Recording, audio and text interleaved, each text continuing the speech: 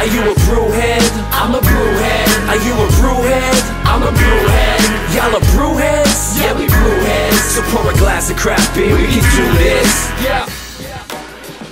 What's good, y'all? This is Cee Certified Brewhead, and welcome to episode 111 of Beer Shit the Podcast Adjunct Series. This evening we have a banger. This is a brewery uh, that uh, the gentleman joining me on the podcast had put me onto, God, maybe years ago. I couldn't even tell you when. Um, very excited to hear the full story. But before we get into it, we have a sponsor this week. If you guys were around last year, you will remember that we had Manscaped as our sponsor, the uh, most hilarious ad reads of all time. I don't even have to add anything much to it. I just read this and it's good. So I'm going to get into it. Uh, it's never too early to play holiday music, and it's never too early to start thinking about gifts, whether it's for a friend or the friends in your pants. You can make this season to be jolly with Manscaped. Do your little drummer boy a favor and use the Lawnmower 4.0. Where is she? Boom uh, to avoid another silent night in the bedroom. Then add Manscaped's top of the line shower products. Boom. To have people thinking, all I want for Christmas is you. Shouts to Mariah. Santa cares about his sack, and so should you. Fucking hell. Look nice when you get naughty by going to Manscaped and use the code BAOS for free shipping and 20% off, mate. Get that. So I've been using it since last Christmas. And uh, it's a beaut. The old uh, the weed whacker for the nose this bad boy, which is the 4.0, and the two little um, crop preservers and crop revivers. I don't know. This shit is just hilarious. I love it, man. It makes you feel great. It's easy. Um, the Manscaped Platinum Package 4.0, which is this here, is a one stop shop for the man who deserves it all. It's everything needed to help you deck the holes from face to balls just in time for mistletoe season. Who writes this? The Platinum Package has each product from the best selling performance package plus ultra premium body wash, which is these two things I was holding up here, uh, two in one shampoo conditioner, and um, the deodorant, which is that little bad boy right there. Um, it's the best way to smell fresh from your Santa hat to your candy cane. The Lawnmower 4.0 body trimmer and the Weed Whacker nose and ear, nose and ear hair trimmer feature proprietary advanced skin safe technology to protect your protect your delicate presence. Plus, both are waterproof, so there's no issue clearing out the snow from your driveway. There's a 4000K LED light on it, so you can light the way like Rudolph. Now that you've groomed your candy cane, it's time to make sure you don't smell like a reindeer with the Platinum Package shower products. All of Manscaped's shower gear are sulfate free, vegan, and made to have your skin feeling hydrated and smelling fresh. So this is a crop exfoliator and crop gel and a shaver thing too, which is lit. Um, oh, maybe they were the shower products. My bad. And you got this little like body buffer thing to like scrub that on, mate. Bloody ripper. Uh, but smelling good. Doesn't stop at the shower. The Crop Preserver Ball Deodorant and Crop Reviver Ball Toner solve stank problems all day long. Once they touch the sack, you'll never go back. The Platinum Package 4.0 sitting under the tree is guaranteed to put anyone in the holiday spirit. And for the perfect stocking stuffer, add in the brand new Body Buffer, which is him, an incredible body scrubber that makes exfoliating easy and a lot cleaner than the old loofah. So get 20% off and free shipping with the code BAOS at manscaped.com. That's 20% off and free shipping at manscaped.com with the code BAOS. Manscaped, get your jingle balls ready for the holidays. And with that nice little piece of entertainment at the beginning, we're going to bring in the esteemed guests on the podcast. This evening we have Gavin from Anderson and Nathan from Nathan Does Beer in the building. Gentlemen, pleasure. How y'all doing? Good to see you, boys. Likewise. Evan, how are you doing? Yeah, thanks for having me. Pleasure, man. Thank you for uh, bearing Doing with well, me. yeah, nice uh, Friday night. Right? Hanging out. We had a bit of tech difficulties to begin with, but we're in business. Our uh, we got our plans to keep fresh right here, and uh, now we're going to crack open some beers. So I really look forward to this, man. I'm, uh, Nate put me onto you guys. Do you remember when it was, Nate? It must have been. I don't know, 2017, Uh, it, it, it must have it, like it must have been like five years ago, so, like, what I like was something thinking. like that. It's been a little while. and it's uh you know I feel like you always got me your faves. You always had a bunch of favorites, and you like made sure that you're like, oh man, you need to try this. So I've really been excited to get the story direct from you, Gavin. Uh, tonight we're going to be starting. Uh, we're going to drink a, a bunch of beers, and we're going to be starting with the cream ale. Where is it? There he is. Boom! Look at that. Let's go. Um, tell us about this beer, dude. Sure. So the cream ale is uh, it's one that's almost one of our original beers. I think when we've opened uh, at the start, we had um, just there we go, crack that bad boy open. Yeah, get him. Uh, we had our flagship IPA, which we have two tonight, but um, started with a wheat beer, and people just got like I don't know, it was way too confusing because there's like American wheats, Belgian wheats, German wheats. So everyone who came in is like, I don't like wheat beers. It's too much like banana. It's like, well, it's it's an American wheat beer, but Sure. that's fine. So we decided to switch it up, and we brewed the cream ale like a month or two after we opened, and we've just been we've just been stuck with that one ever since. Love it. So I love it. I mean, it's it's a crusher. It's probably it's probably one of our most popular ones. Um, I think we've won uh, three or four national awards for it, a couple provincial ones, and one international one. So oh wow. it's uh it's our most acclaimed beer, but um, it's also just a real crusher. That's awesome, man. Like, uh, I, I feel like when a beer like this wins those type of awards, I feel like it almost like I don't know. It seems like a harder style to brew when it's you know maybe that does that mean more to you that that, that Yeah. style like this that wins those awards? I think yeah, they're a little tricky because um, like there's not too much to them. So like if you, I mean, you can brew a mm, kind of shoddy beer and just dry hop the heck out of it. No one will notice. But if it's uh, like a lagered ale, it's it's pretty obvious if you do anything wrong. That's a really really good point. Um, boys, get it in you. Cheers. Cheers. Cheers, guys. glorious. Cream ales are unique beer, and I feel like um, maybe the knowledge isn't really there. I always forget what is different about them. Could you just maybe go into exactly what makes a cream ale what it is? Sure, yeah, and, and it seems like these days it's a pretty poorly defined style because I think Right. it was uh, very popular pre-prohibition, and then a lot of the, the breweries that made it got shut down and never really came back. So this recipe we actually based off of uh, like a, a old scrap of a cream ale recipe that we found in like a historical brewing book. Uh, so it is as traditional as it possibly can be, I think. But it's it's another one that people always say like, oh, it's not some people that say I don't want it, it's too creamy, or they think there's milk in it or something like that. But it, it's really not supposed to be creamy. It, it was the like the American ale brewers answered to German lagers that were all coming over in like the 18, 1900s. right. So it's just it's just supposed to be like it's a lagered ale. It's just supposed to be nice and crisp and and crushable. That's what we're going for.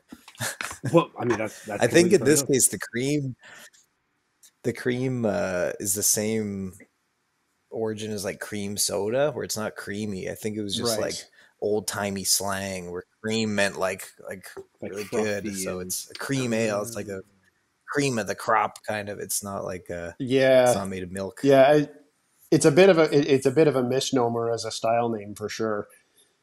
Um, and I, Yeah. I also feel I also feel like there's not um, like there are not a ton of uh, breweries in Ontario making a cream ale. Certainly not uh, like not many that have as part of their core lineup.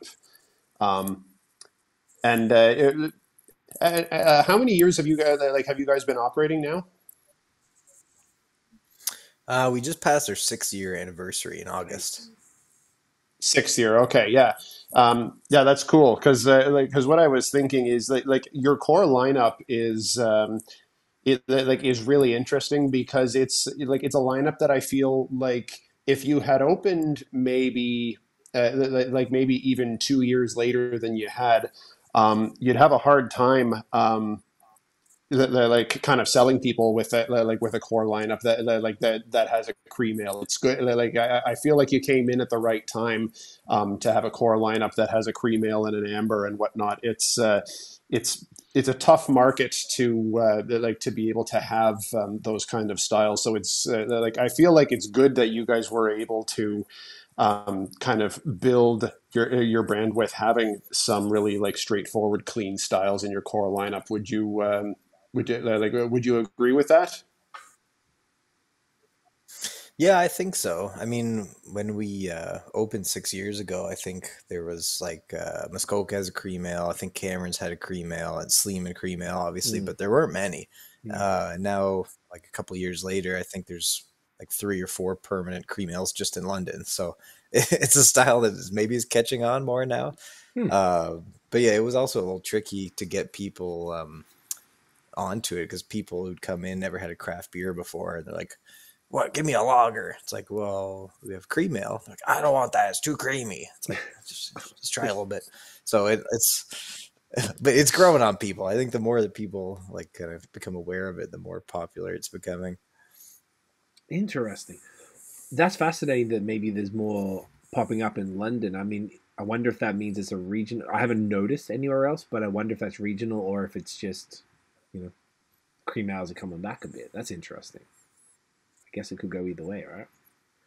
Um, Mm, yeah, I don't know. I hope they're coming back because I like them. Yeah. The Yeah. difference between, I mean, you call it, a, it's a lagered ale. What is the difference between a cream ale and a kolsch? Like, is it the malt? Is it the um the yeast? Is there something specific? It's uh, kind of the grain bill is the main difference, and the yeast I think are the the main two. Like a Kolsch is usually brewed with German Pilsner malt or uh, it's like some more lighter, uh, easier going malts, and um, like the the yeast is pretty specific too because a lot of the flavor from a Kolsch is that really delicate like pear, stone fruit, like the really light fruity esters, and a really crisp, clean body. Where the cream ale's got a little more substance, so Right. this one we use a bit of um, caramel malt and we use uh, some traditional like six row barley and a lot of corn too right if you think about it's a tr- really traditional style and people brew with what they had and, and american brewers had a lot of corn so i think a lot of the, the flavor the malt base in this one comes from the corn I, I get a really nice sweetness and complexity from it Interesting. Yeah, for sure. I have a friend uh, in the beer industry in Alberta, and she always like it's like her thing to like shit on cream ales, and I've always liked them, so I've never seen anyone like not like them. And she always says something about a vegetal taste in it, but I'm not getting that here at all. Like, is that ever like is that a real thing that multiple people, or maybe it's just her particular palate that doesn't align? No, yeah, I think that's that's not uncommon. Like one of the the main defects you get in beer is DMS, which is like that if you don't boil it properly, you get that like cooked cabbage, canned corn kind of aroma, which is Right. really off-putting. And so I think because this one has so much corn in it that like if you smell it, you can smell the the aroma from the corn. I don't think it tastes like creamed corn or cooked corn, but uh, for some people, it's I think it's too close. That like corn to the canned corn and maybe they pick up on what they perceive as a bit of DMS or something like that. But um, it's supposed to be corny. Gotcha. good corn. Good corn. Okay, that makes sense. I've always wanted to ask about Right that on. because I always saw that and I was always like, I wonder because you know sometimes some people have specific palates that pick up strange flavors that are very unique to their tongue and what's going on there. So I wasn't sure if that was a, a known thing about cream ale. So we're learning tonight, folks. It's awesome. Um, yeah, man, it's a great beer, and I'm, I'm happy to know that there's a demand for for cream ales out there. Uh, again, so it'd be interesting to see what happens now that with this conversation. Um, have you noticed, Nate, any like an influx of cream ales at all in the last little bit? Um, I haven't really. Um, it's like it's one of those styles that when they like when you do see them come up, I think it's uh, you, you know you, you don't really see a whole lot of one-off cream ales. Like I can think of uh, like I can think of a couple others, like including the ones that Gavin mentioned, um, that have cream ales as part of the like as part of their core lineup. Um, but generally from breweries that have been on the scene for a while. Um, I'm like if I think of any breweries that have opened in the last uh, like in the last two or three years, I don't think I can think of a single one that's been uh, like that's put out a cream ale. Mm, yeah, neither can I. That uh, it's going to be interesting. Now, keep an eye out for it. So this is uh, this is dope, man. So let's get into the beer history. I always love this. I want to hear how did you, Gavin, get into craft beer, and how did that, you know, pave the way to brewery to to the brewery opening? Sure, I think uh, it's a. I guess we got some time. It's kind of a long story, but Let's go. I'll, We I'll got beers. We got time. um, yeah, I think it started for me in uh, college. I guess um, just getting into trying new beers and stuff like that, and went to the LCBO. Back then, it was just like your big brands, and I think pretty much the only specialty stuff they had there was uh, like Belgian things. So you get some Orval or uh, Rochefort or um, uh, like Leffe Blonde, things like that. And so I would get like I, I mean, I'd only had Keith's and Canadian and Blue up to that point, so I had a couple of those, and it like like blew my mind the amount of flavor and like complexity in those beers. So that's what I really got interested in it. And then um, I think the next year, a couple years later, for Christmas, my dad got me a like a starter homebrew kit, just like a like a 20 liter plastic bucket and like a instruction book and things like that. And so I started dabbling in that, made my first batch. Like you put in the extract, put in your water, put in your yeast, stir it around, just wait a couple weeks. Good to go. Um, it was pretty good. Like it wasn't bad. So I, I went and like bought some more stuff, made my second batch, tweaked it a little bit, uh, and a couple weeks later, bottled that one, tried it, and it was like it was absolutely terrible. It was the worst thing I've ever had in my life. So I think that's the point. That's like the make or break point for a lot of home brewers, where you either like give up or try and figure out how to make your junk beer as cheap as possible, or you like really dive into it and try and figure out like how to make this decent. And, and luckily, that's the way that I went. So I, I started researching uh, like other how to brew books and and um, really got involved in different recipes and really ramped up my home brewing and stuff. And it helped that at the same time I was um, a student uh, studying microbiology, so there's a lot of overlap between the two. I think, Hmm. and um, yeah, then I uh, home brews entered a bunch of competitions, was winning awards from.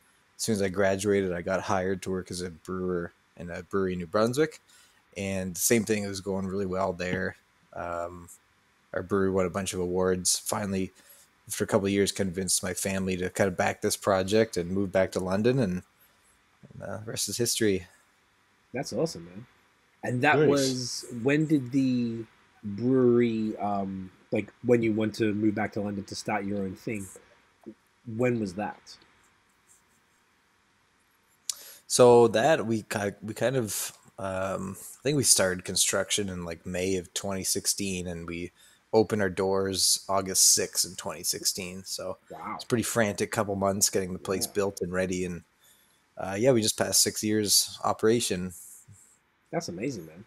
Three months is pretty. Uh, that's pretty good. From the stories I hear, I hear some pretty horror stories of how long it took people to from you know acquiring the facility to getting getting everything done. Like three months is like insane. Yeah, it was pretty frantic. I can imagine. Was it? Would you prefer it that way? Would you do it any other way, or it's like just go for it? Uh, I don't know. I mean, it's so stressful those first few months, right? Because you're you just all your money's going out the window. You're just paying bills and nothing's coming in. So Yeah. if we stretched it out much longer, I don't know how much we how much longer we could have done it for. I love it. Um. So then, okay. So you you know you're already successful in the brewing world, and you want to sort of run your own shop, which obviously is tends to be the dream for for most folks. What was your intention? So calling like starting Anderson. Anderson is is that your last name? I don't think it is though, right? Yeah. it is. Yep, okay, yep, yep. apologies. Um, why? What, no, what was the intention? What were you? Well, like, all right, my brewery is going to be this kind of brewery. It's going to make this stuff. Like, what was the sort of like the map for what you guys were going to do? Uh, I mean, I think that our kind of main idea is just to brew stuff that we like to drink, and I feel like I'm a pretty normal person, so hopefully a lot of people also like to drink it. So, I mean, that's kind of been our goal the whole time is just brew like true to style beers, the best quality that we possibly can, and uh, hope people like it. Okay, straightforward. The like sometimes you know some people go I'm you know this Belgian themed breweries or some people are following the hype stuff whatever it might be. So I feel like you guys kind of do a bit of everything, and I guess that fits in with the ethos of what you were just describing there. Um, is there any like would you say that there's like a there's not a specific approach then like it's just more like there's really good beers in basically any style that interests you and the team. Uh, I think that's pretty much it. I mean, we uh, we we had one um, a one year old, and my wife wanted to move back to Ontario, and no one would hire me, so it's like, oh, let's just open our own brewery and just do our own thing. And so, but yeah, it was good because we have the uh, myself and four other people on the brewing team now, and pretty much every beer we just take turns going through. Like someone takes a turn. What do you want to brew this week? And we make it. And if there's something someone comes up with an idea that uh, we don't think we could pull off, then we just do that in a small batch maybe and see if it works. But uh, yeah, I mean that that's really the goal is just we brew stuff that we like to drink and we make we make it as good as we can. hey man, I love that. Nice. He, what did you open with? Sorry, Nate. That was my last question. No, no, no, that, no. That's okay. That's a good. That's a good question. Sorry, what was the question? What did we open with? Yeah, like which which were the um the beers that you kicked everything off with? So our original lineup, and we still have all of them except for the wheat, which I mentioned at the start. We had our like our classic IPA, and we had a wheat beer, and we had our amber, and we have our brown. So okay. those four we still make uh, year round, but the wheat was abandoned, and we we came up with the cream ale recipe, and that one took its place as a permanent. So that's five. Five cores. Okay, I love that. That's great that well, the still wheat's gone. The wheat's just gone. IPA, female, amber brown. Okay, gotcha, gotcha. Right. So four. Nate, sorry, I cut you off before. Yeah, no, no, no. That's all right. And, and like that's a re- like that's a really good core lineup. Um, and I feel like that's one of those one like that. That's the kind of lineup that ha- that like that has something for for almost any uh, that, like for almost any taste. Yeah. Um, and I'm sure that must have been the case at the time. And I'm thinking back because the uh, like the only time I've uh, like I've had the uh, good fortune to visit the brewery was back like was in uh, 2017. So I guess you guys must have uh, been open for a year at the time. Um, and I'm thinking back at the time. I think you had the core lineup and maybe one like and maybe one or two others um, on like on at the time. Like you probably like you probably had Spring um, on and uh, it, like and maybe one other. But uh, like but what struck me is that. Um, like that and then when i got a like i got a bunch more a couple uh, like a couple years ago and like noticing how much your lineup had really exploded um the, like in that time like quite a bit like quite a larger lineup um like that you'd had um over the years i'm assuming that must have come just with uh, like just with larger capacity in the like in the ability to be able to kind of put uh um, put more styles out as the like as the brewery grew. Is that uh, is that how that went? Yeah, that, that's pretty much it. I mean, I look back at uh, old photos when we opened, and like our tap room, we just have this like really nice twenty foot uh, like live edge oak bar, and then behind the bar, there's like a teeny little stainless plate with like six taps in it, and the whole wall is like totally blank. So when we opened, that's all we could really do is just I mean, we had six beers for a while, and then uh, we got a few like we were doing half half the time we were just brewing IPA and cream ale, so we didn't have a lot of time for variety. And then uh, we hired another brewer, got a big tank, just fill that up with cream ale, and then we could use the smaller tanks to start doing some more new and interesting stuff. So we had uh, like I think uh, our Märzen autumn was our first seasonal, then we came out with a stout in the winter, and then the spring in the first spring, and then I think after that we had enough capacity that we could start like we we always try to do one to two new beers every month in addition to like the seasonal rotating ones.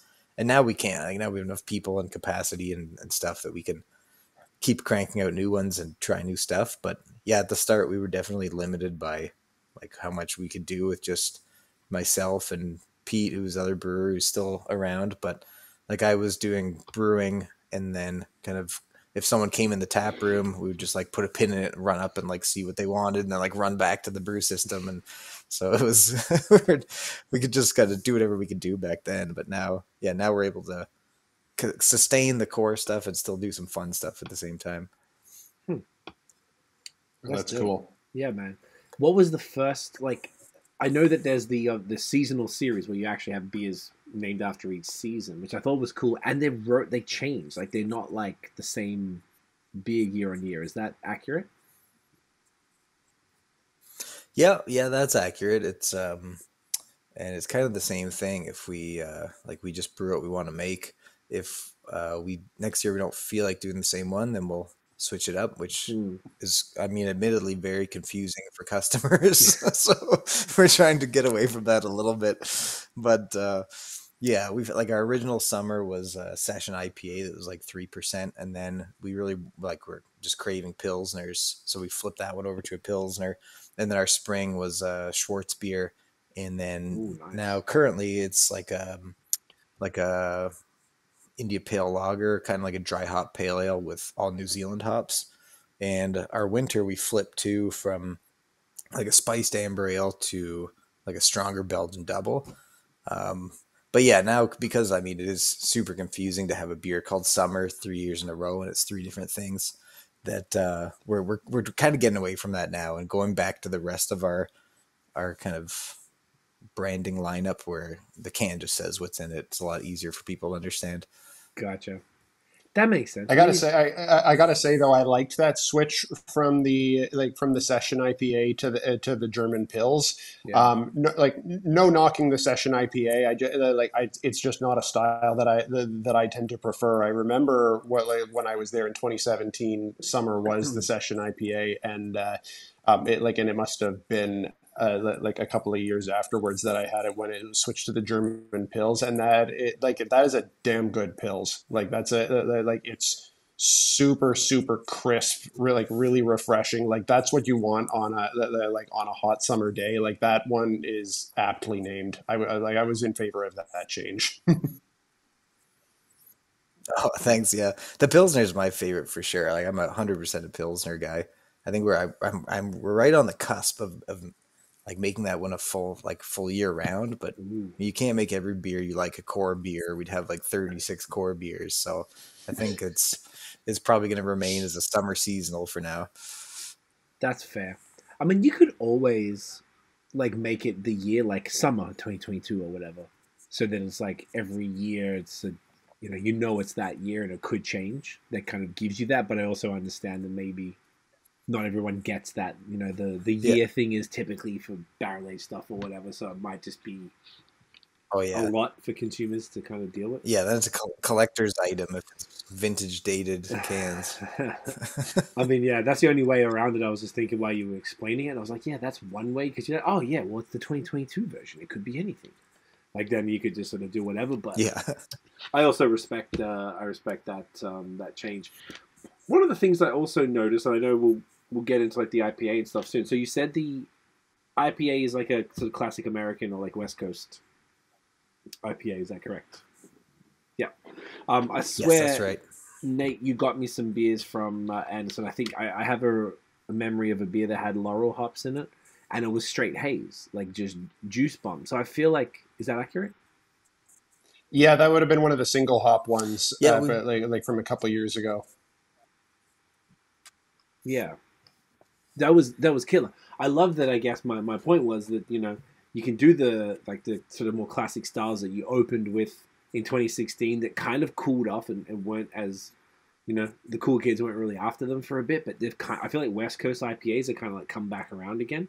Um, Nate and I are massive fans of uh, of West Coast and love to see more of it. So that makes me very happy. But I think it's also really dope that you can make a beer that would be in the realm of the you know the hype boys would uh, get excited about too, and you could you know easily do both of those styles to to a very very high level. I think that's really dope, man, because you haven't positioned. I, I say that to because you not you haven't positioned yourself as like anything specific.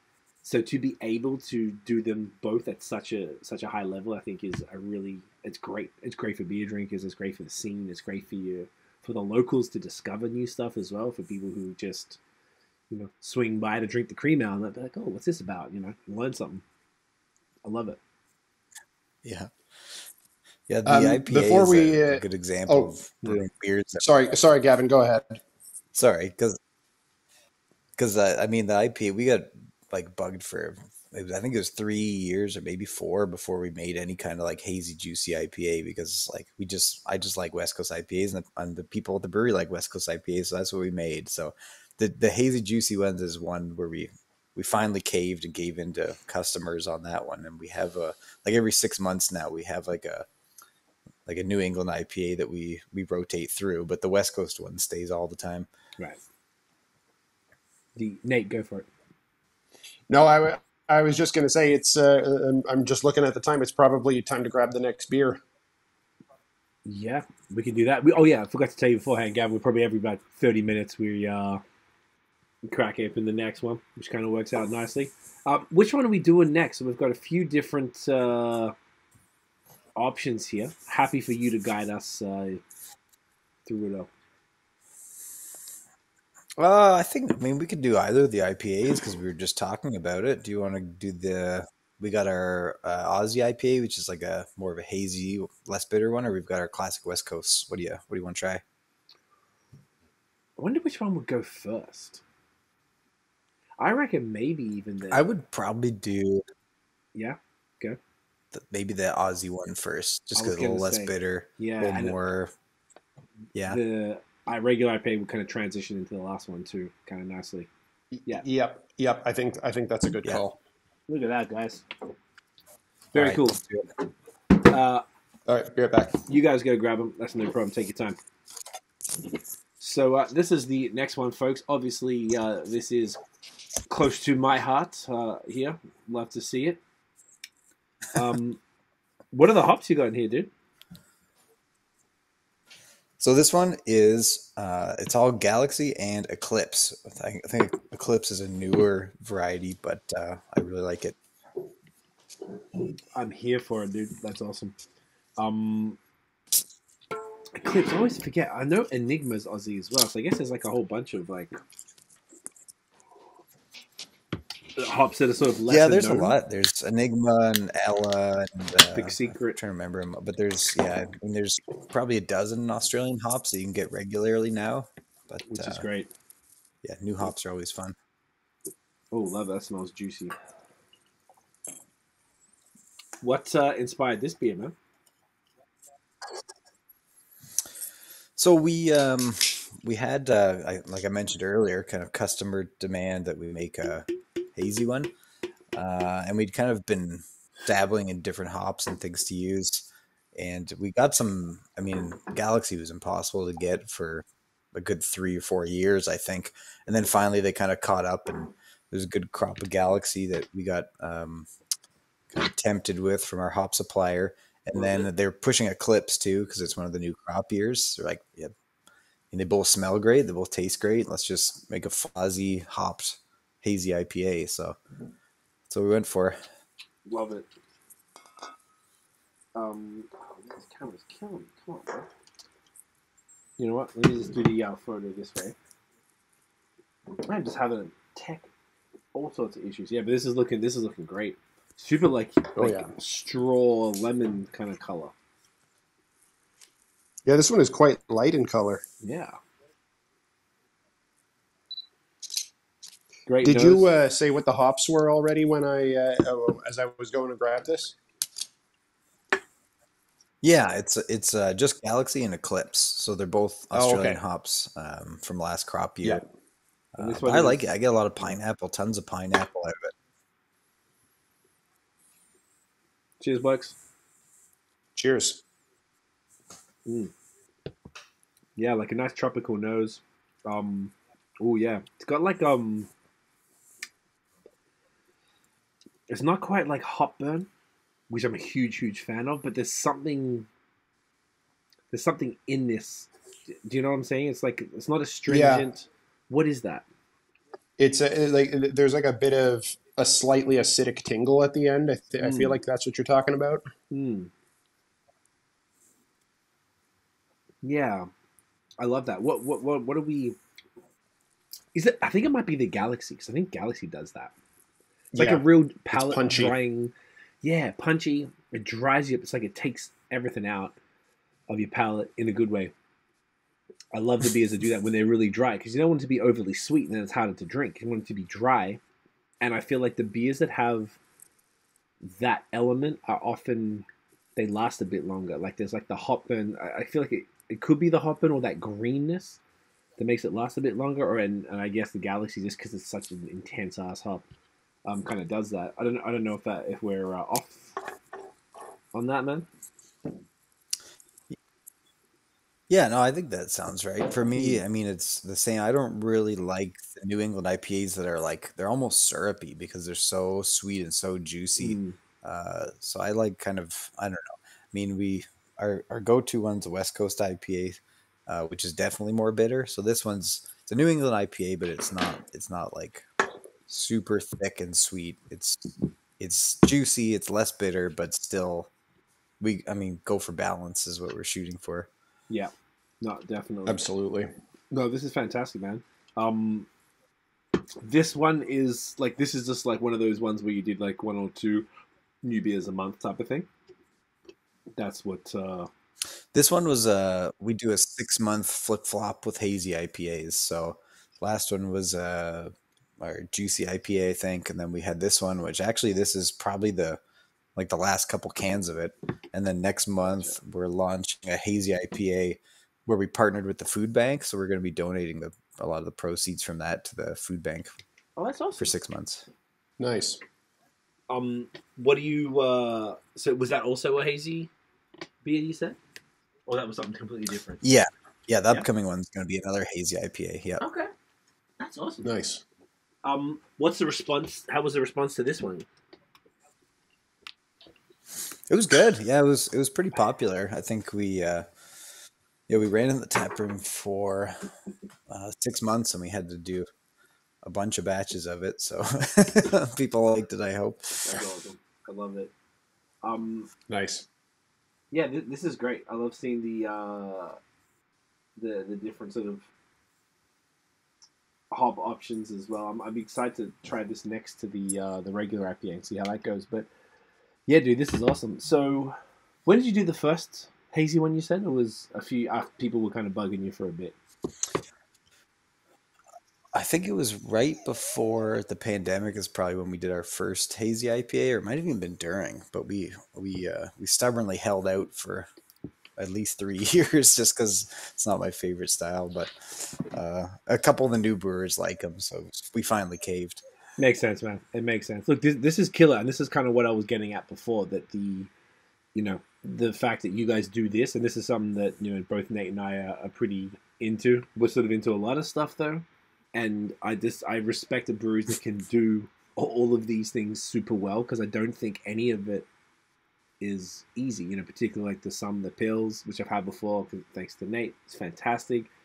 You're doing this type of haze that's it's almost like you you you're hitting all the notes that maybe like the Haze boys want, but then it's still really approachable. Like it's not like too intense. Like it's just where it needs to be. Where I'm like it satiates those who maybe got more experience with it. But if you've got someone coming in who's maybe a bit newer to it, it's not going to turn them off completely. Um, which is very key. Which is very cool. Yeah, absolutely. Yeah, I think it's got. I mean, I'm not going to throw like a pound of flour in it to make it hazier for the the hype the hype train or anything. but I Yeah. think the people who think West Coast are too bitter but still want something with more character, I think this is a perfect fit for for something like that. yeah. Um, I think so. Yeah. Yeah. People actually do do that flour thing. I heard it was a real thing from um, the milkshake IPA days. I don't know if anyone's doing it now, Yeah, but it, that, that was pretty funny. I hope me. not. I think uh, I think people have figured out how to do it without having to chuck flour in it now, which is just carbs. You're just like drinking bread already. You're just adding more carbs to it. Like fuck, man. Um, what was I gonna say? so the the actual um the London, Ontario. I don't think we've really had any or many breweries on from London. Surprisingly, now And I think it. this would be the first. I'm pretty sure. The only one I can think of is equals, but they're not. They're more. They're a contract as opposed to they do their own stuff. Really. So, don't know why that happened. So this is great. So I'm definitely would like to learn more about um uh, about the scene out there. So tell us about as far as the London craft beer scene, man. I'd love to hear about sort of where it's at. Like, is it its own sort of like microcosm of the whole of Ontario or, or Canada at large? Like, where's the palette at? Like, are people? Is there like a style? Obviously, maybe it sounds like cream ales are kind of popping out there, but are there some styles that um people are into? Is craft beer really popping out there, or is it kind of a slow grind? Like, what's the landscape? Yeah, I think it's it's probably a bit behind uh, parts of the province, like Toronto for sure. I mean, it, it's uh, not surprising that London always gets kind of separated. We're just like a city surrounded by like three hours of farmland in every direction. So uh, it's hard to get people from Toronto and farther abroad interested too, because like, oh, it's a two-hour drive. It's like it takes you two hours to drive like halfway across the city. Like it's not that bad. It's actually not. But, that's, um, that's facts. No, the, the London beer scene. Yeah, the London beer scene is is uh, it's it's really ramping up. I think. Like when we moved in, there was uh, Forked River was the first brewery in London. So they, I think Oh. they they were there two or three years before we were, and then Toboggan was there before us. But the, it's a brew pub downtown, Mhm. and so then we were in there, and then London Brewing uh, Co-op moved in across the street from us, like a year later, I believe. Okay. And then uh, we have Beer Lab downtown now. Storm Stayed. There's Curly Brewing, which is like a, a really micro micro, and um, uh, Powerhouse moved in also like across the street from us. And then Dundas and Sons. I think that's it. Maybe if I said Storm Stayed already, I think I did. Yeah, did. But so we've gone Yeah. from like two or three breweries to seven or eight in the in the four or five years. So I mean, for a city this size, seven or eight breweries is still peanuts compared to a lot of other parts in Ontario. But it's uh, I think there's I think there's a couple more. You hear rumors all the time of a few more in the works. So I wouldn't be surprised if a few more pop up. But it's still good. It's it's uh I mean the more breweries, the more people in London are getting exposed to craft beer, and I think they're a little behind the rest of the province and transitioning over. So it's uh it's still a, a brave new world here. Hmm. I've heard of almost all of those breweries too. I didn't realize most of those guys were in London. So that's pretty cool, man. And it sounds like there's like what three or four near you to make it like the perfect, uh, you know, crawl kind of scenario out there. Oh yeah, for sure. Like I think from our place, there's like a one is across the street and one is like across the street from there. So you can take a Uber down and then hit three breweries with like a two minute walk and, and then head to a different part of town. That's money. That's um. Well, that's I- great. Yeah, I imagine that's done you done you some favors. Like that's been a unlike any other industry. If if your competition moved in across the street, you'd be pretty upset. But in the beer world, it's uh, I can imagine that being a, a positive thing. People want to, you know, you're a drink, uh, you're you're a brewery owner and a brewer, but you're a drinker too, and everyone wants variety and to try different things and like to make an afternoon or a day of it or whatever it might be. If you're able to do all of that, that's pretty sick. Like you could basically be there all day, all night, and hit the three spots. I love that. Yeah, it's it's pretty nice. I mean, pre-COVID, we were working together on like walking tours and trying to get tour buses in and things like that to bring people in the neighborhood. But then that kind of was derailed, and, and now we're we're slowly working back to to that point. Mm, okay, that Yeah, of sucks. but course. hopefully, that's able to to kick back in. Um, as far as the drinkers, then in London, it sounds like you know, it's a pretty big city. It's like half a million plus. I've been to London like two or three times. It's it's not small, right? Mhm, Yeah, that's right.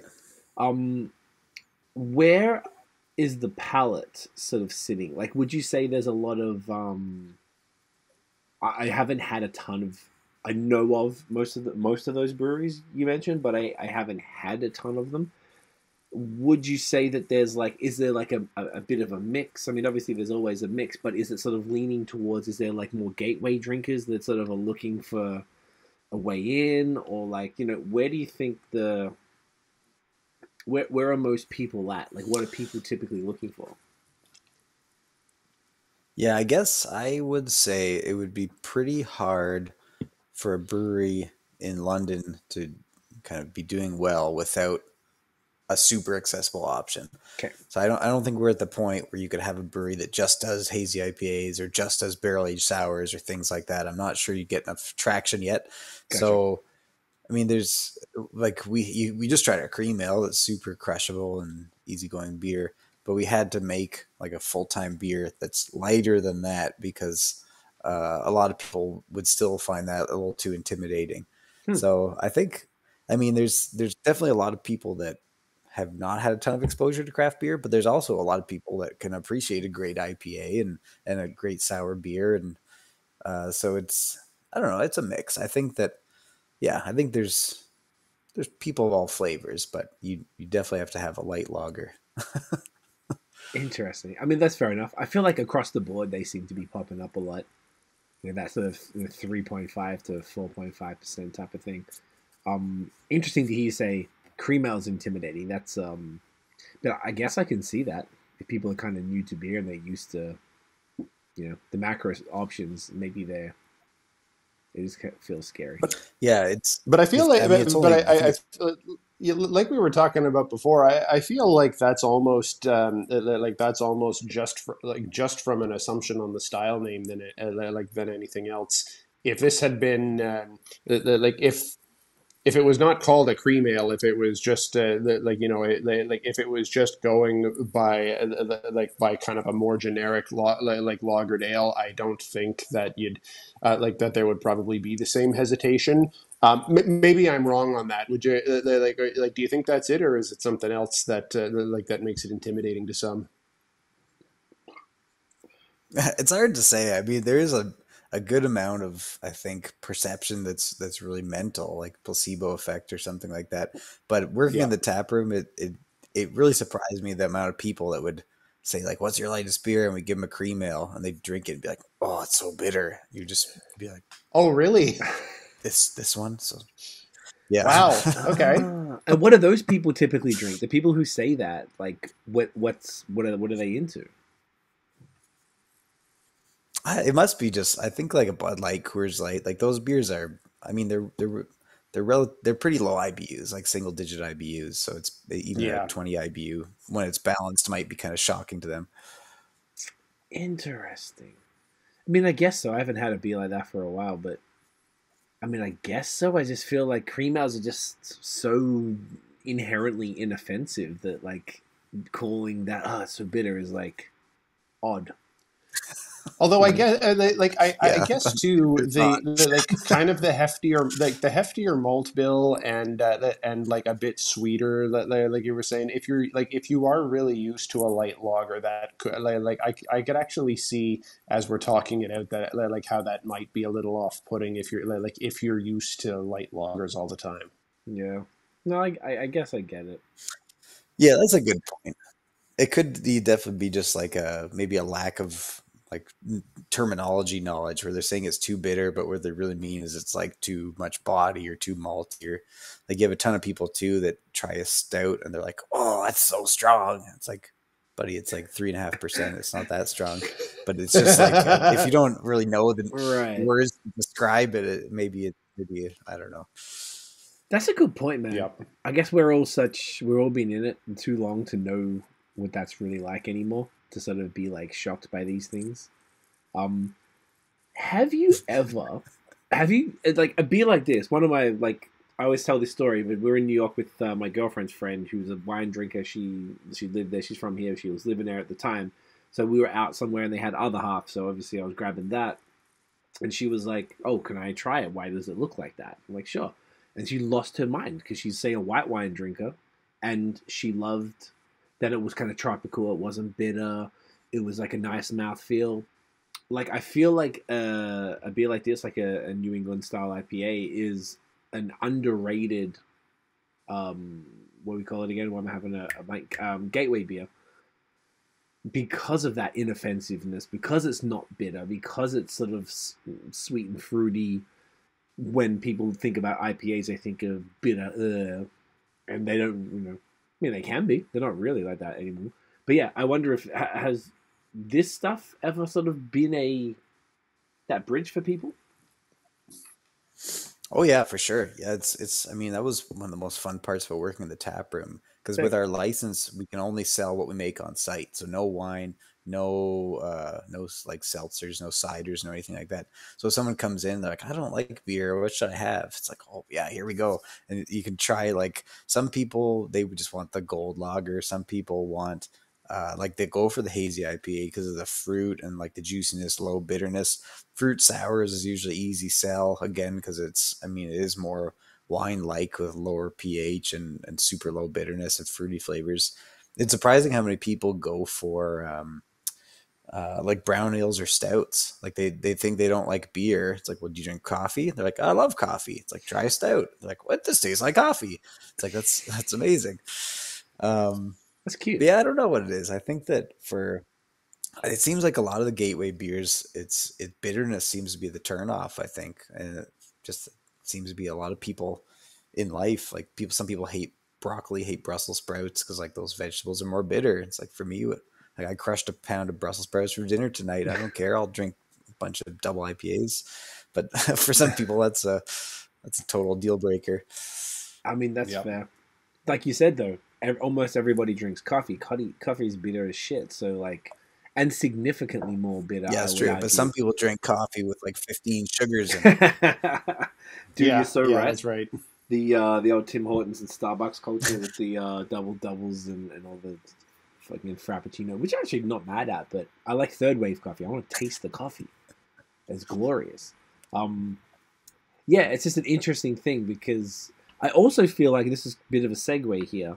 Um, one thing I've always really appreciated about you guys is the branding, and I feel like your branding is appealing to all markets. And I, I'm bringing up the gateway stuff a bunch just because I, I always had the feeling that this is something that's important to you guys, and maybe also because of where you're based. Like maybe that's what what's needed in London to kind of grow it out. But then you told me how many breweries are there, and I know some of those are, you know, I know Beer Lab are definitely aimed more towards the kind of, you know, beer nerd crowd.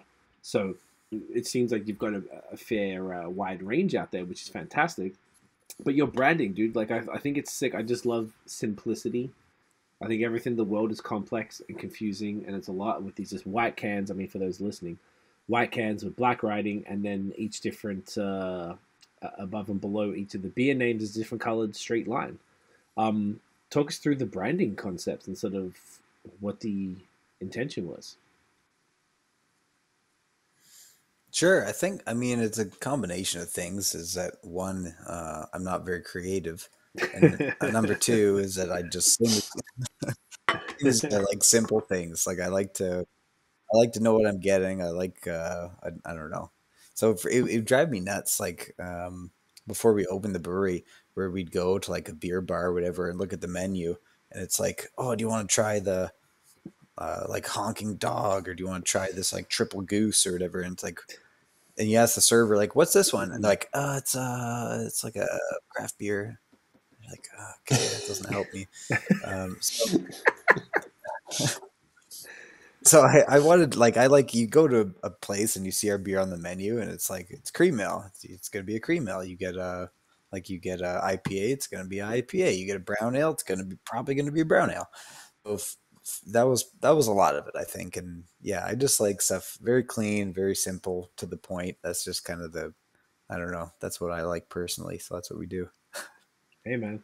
Yeah, you, awesome. you you definitely definitely know what you're getting. It's uh, yeah, like it's it's clean. It's uh, like it's simple and like it works. It's um, it, like it, it's a good concept that has kind of it's like I, I feel it's what your uh, like kind of your brand has been uh, like has become synonymous with just this ju- kind of this clean and um, they, like clean and simple branding with like really well executed styles. Um, it, it- like it's to me, it's kind of it, like it's kind of what your brand is known for, and I I, I think it really works.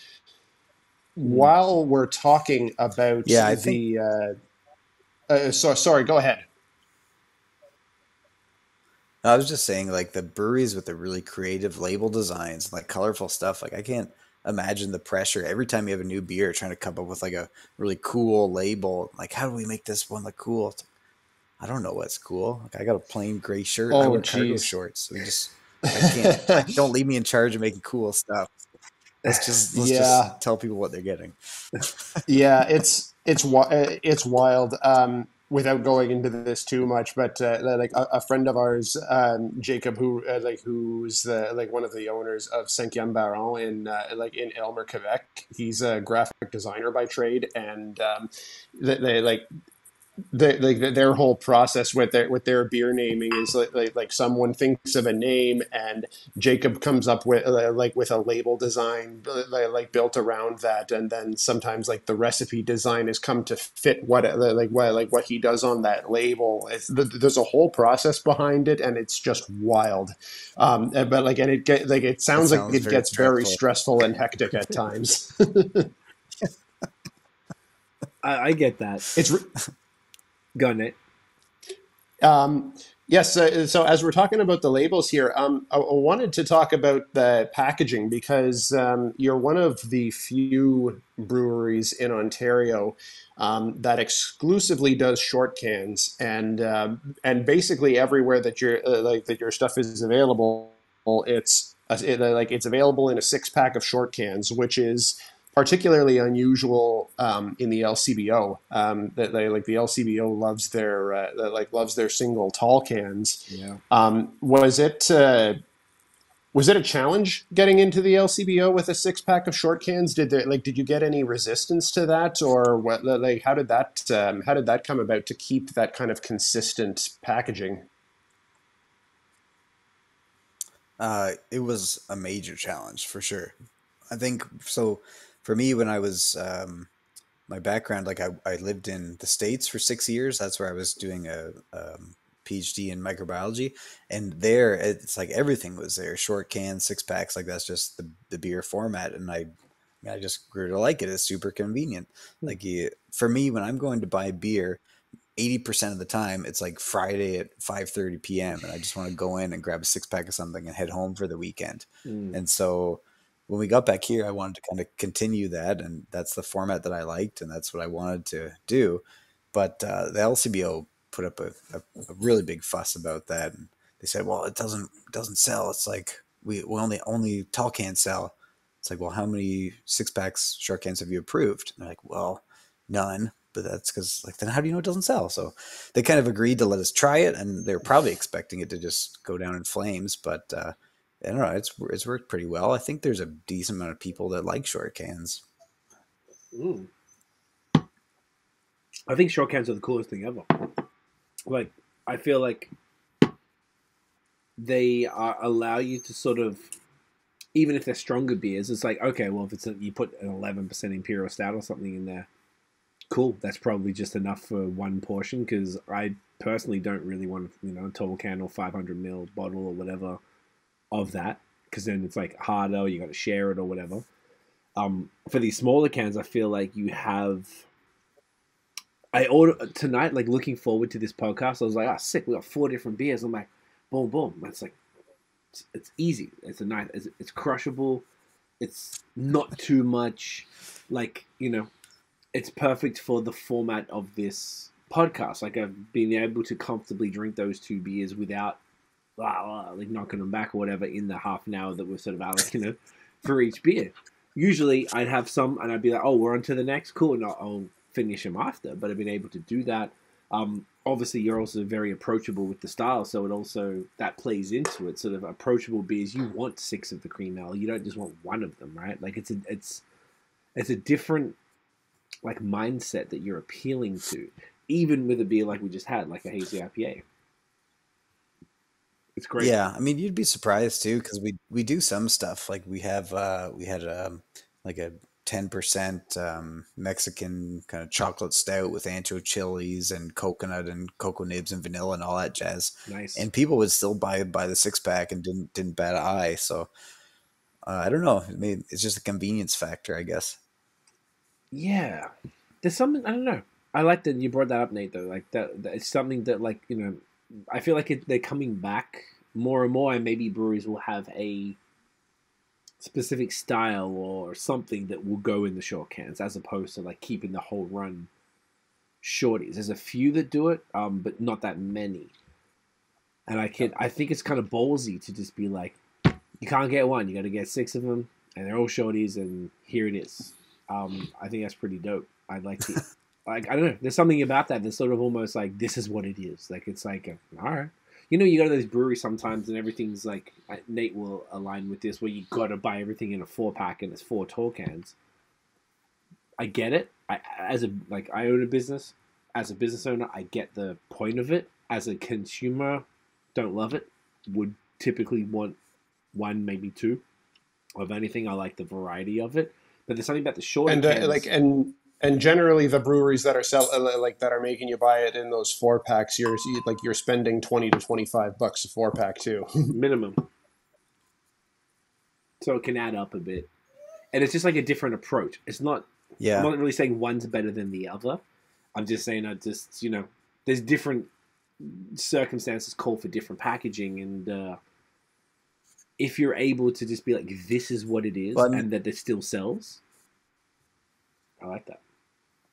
Like our stuff too. Like you can come in the tap room and buy one can. That, that's fine. You can go in the LCBO. You can crack one off a six pack and go buy one can. You, Oh, you're allowed to. No one's going to stop you. But I just find a six pack is just more convenient. I don't know. I Yeah. get it, man. And and, and especially too like uh, th- th- this is another thing that I uh, like that I love about this, and I'm assuming this is deliberate. But uh, like you know, when I go and see the, like those attractive, clean labeled cans in a six pack, and you know, even the like even the pack holder is the same, like is usually the same color as those like as those two lines on there. It's uh, like it's Oh, but, like, like, it's great. Like what like when I go in uh, like when I go into the LCBO and I'm grabbing like the six pack of that Märzen lager and it's got the orange cap on it. I love that. It's like it, it just all fits. Yeah, I think that's one of the few aspects of our branding that is deliberate. Is that I make sure that the lines on the can, the two tiny lines, match the color of the pack deck. attention to detail, man. It's the small things. Uh, in the, I didn't notice that. I'm gonna double check. Um, with the other one, I, that that's sick, man. I feel like I don't even see six packs too often. I feel like even six packs in and of themselves are a rarity. I, I can't even think of another beer that intentionally comes in six packs off the top of my head. So there's, uh, I like it. It all makes sense. Next beer, eh? Looking at the time, yeah, next beer. we doing the So brown ale now. brown Let's or do it. IPA? Brown. We're browning it up. I, I, I, I- I would I would say probably brown ale and then we and then we finish with the bitter. Uh, that sound uh, that sound right to you, Gavin? Yeah, I think so. Yeah, that works Love for it. me. All right, let's do Look it. at that. As expected, the lines are brown. Look at that. Get that in you. So the brown ale to me is fascinating. I feel like. Also, I want to put this Australian flag up now because I got that out. I reckon this will look cool here. What do you reckon? Look at that. Fuck Australia, man. Bloody ripper, that is. Um, I saw it on the floor when we were drinking the Aussie one. I was like, oh yeah, I got these flags. Um, brown ales. This is fascinating to me. Um, this is a style, definitely like kind of what Nate was saying earlier. It's one of the styles that was, you know, was hitting back in the day. Um, I loved brown ales, nut browns, ambers, all that kind of like you know pre porter stout kind of middle ground beers. I was always a huge fan of them. Um, I don't get them enough now, and I feel like whenever I have a brown now, I'm always like, "Ooh, where have they been?" Um, what's the what's the vibes with the brown ale, dude? Like, how's uh, what's the Yeah. response now? Like, I think it's fascinating. Yeah, for me, our brown ale is 100% my the favorite my favorite beer that we make, but it's also 100% like our worst selling one. It's kind of a- Go I don't figure. well, it kind of makes sense. like it's, yeah, it's like the forgotten stepchild of, of beer styles. I think like people who who like that roasty chocolatey flavor, they go for the more intense stouts, and people Yeah. who don't, they just they won't try brown. It's kind of an in between style. I'm not sure. There's not many people where that's their real go to is a brown ale. I think years ago it would have been for sure, but now it's just it's just a different different time. I remember back in the day, like you you wouldn't catch a brewery that didn't make a brown ale. Like it was mandatory. I, I would probably say. And especially in Quebec too. That was my, Mhm. the, like the, that was one of the things where it like you you couldn't find a brewery that didn't make a brown ale. You reckon? Uh, like seven eight years ago in Quebec. Really? Eh? I mean, I just moved from Quebec, and I don't recall that. I remember him here more because Ontario is more English. So maybe I I missed the brown ale wave. Potentially. Well, it was like kind of along like, like kind of along with the roosters as well, uh, like as well, right? Like it was That's uh, true. uh, when, when, when kind of uh, when everyone was all, like kind of sticking along those uh, like those classic lines. That is fair. The Rousse was, uh, and still to this day, I saw other, I, I saw breweries like this week promote their new Rousses, which is an interesting. You know, I guess you're familiar with that. Gather the Rousse is like the red ale. It's like a red ale and a cream ale kind of mixed. It's an interesting, like an Irish red and cream ale. Um, yeah, like brown. Well, first of all, I'm I'm dying to sip this. Can we can we sip? Once Nate's got that photo, yeah, get the photo. Cheers, boys. Yep, no, no, I'm here, I'm here. All right, Okay. we're good. Get a Cheers. brown ale in you. Oh man, Fantastic. the aroma on this is delightfully delightful. Yeah. There's something about brown ales, man. Like, I don't know why. I've got like a real soft spot for them. It's uh, yeah. T- talk us through yeah, this, I, dude. like it. Like I said, it's my favorite style. yeah, But it's got I don't know. I've had people describe it as like kind of like coffee crisp. Like it's just it's got that kind of Ah. roastiness, like milk chocolate, not like the dark chocolate, but it's a nuttiness. Like it's just got all the good stuff. It's like a nice like bread. Yeah. Bread's good, but toast toast is awesome. And this is just like the toast of beer, I think. The toast. of You know beer, right? what? It's That's it's awesome. got all of like it's got all of those notes without like kind of without the sweetness or heaviness uh like of when you would have a stout with the like with Yeah. the same flavors. It's got the espresso, it's got the chocolate, um, but it is dry and light on the palate. Mm-hmm. Yeah, Coffee it's not a like coffee beer. crisp is a really coffee crisp is a really good descriptor for it actually. Yeah. Because it's got the bitterness. And it's got the, the chocolatey, like you said, without being like that dark chocolate. It's like, but it's super crisp and light. Like it's got the lager feel. Like it's only 4.6. Mhm. So it's very crushable, touch bitter. It's um yeah, basically chocolate and coffee with a little nuttiness in there. it's it's glorious. Like it's such a great mix. Yeah, I mean, like I said, it's my favorite beer. I Just just wish people would buy it. It's a flagship. They have no choice. Oh man, I, I really like this. What's the um like? What's the general vibe when you sort of try to suggest the brown ale to people? Are they sort of open to it? Or? Yeah, I think people will try it. I've had a few like people who come in say they don't like beer, and we've been able to sell them on this one because it is kind of like milk chocolate coffee. It's not too bitter, but it has like a lot of complexity. But most people, I think it's kind of what I was saying before. If people like chocolate and coffee, they like a stout because it's like a punch of chocolate and coffee in your face. They don't want like a like a little sprinkle of chocolate and coffee. But uh, and people who don't like that, they'll go from like an amber or something more caramelly, and they'll stay away from the the roasty notes. I get it.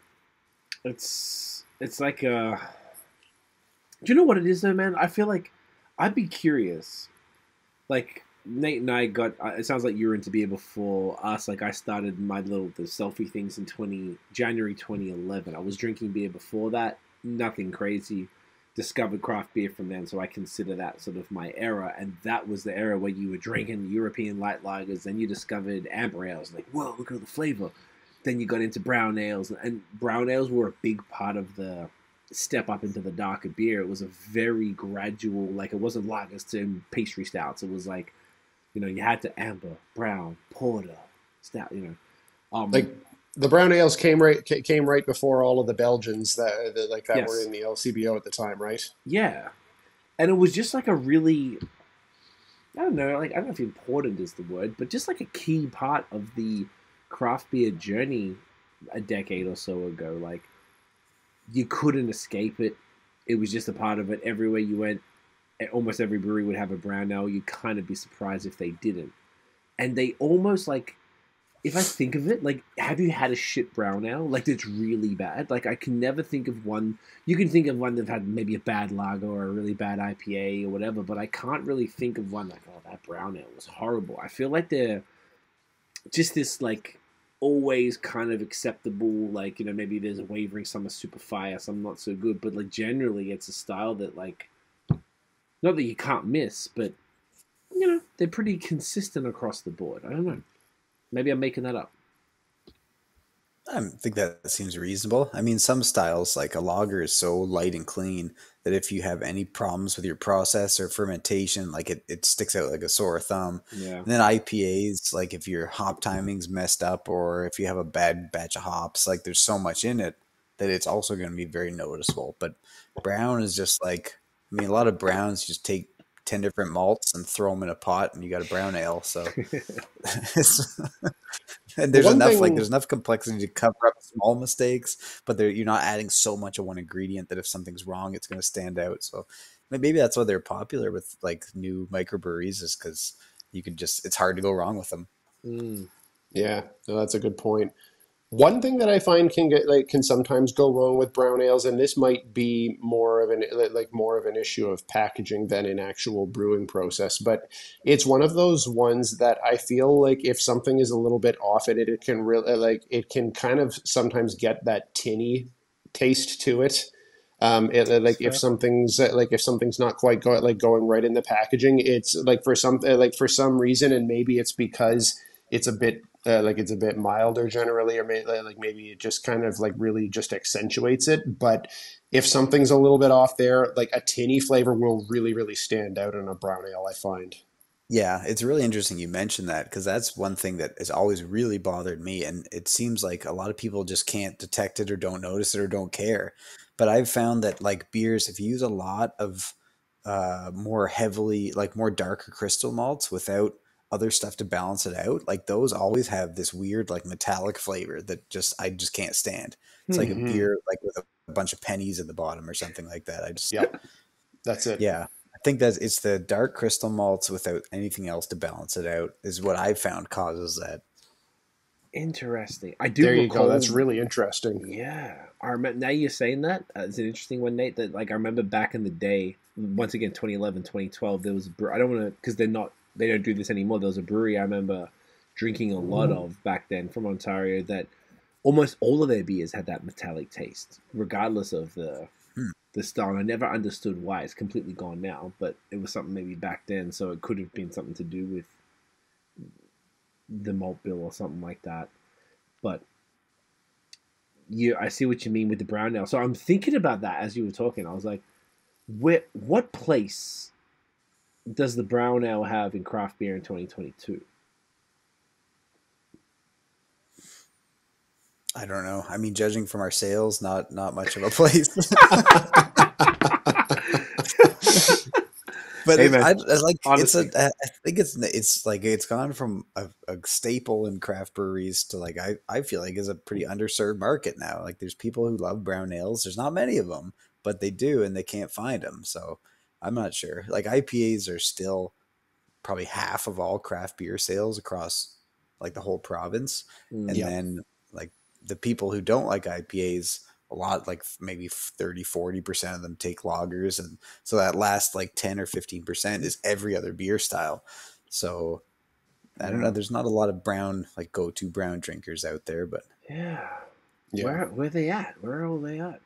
I I don't even like, bro. This is like, I was. I'm not even gonna lie. Like the beer I was most looking forward to tonight was this beer, because I feel like I hadn't had a brown ale in so long, and I don't think I ever had a brown. Like I said before, a brown ale that I didn't like, and I feel like there's something that recently. I don't know if Nate and I, you you and I have been talking about, dude, but like.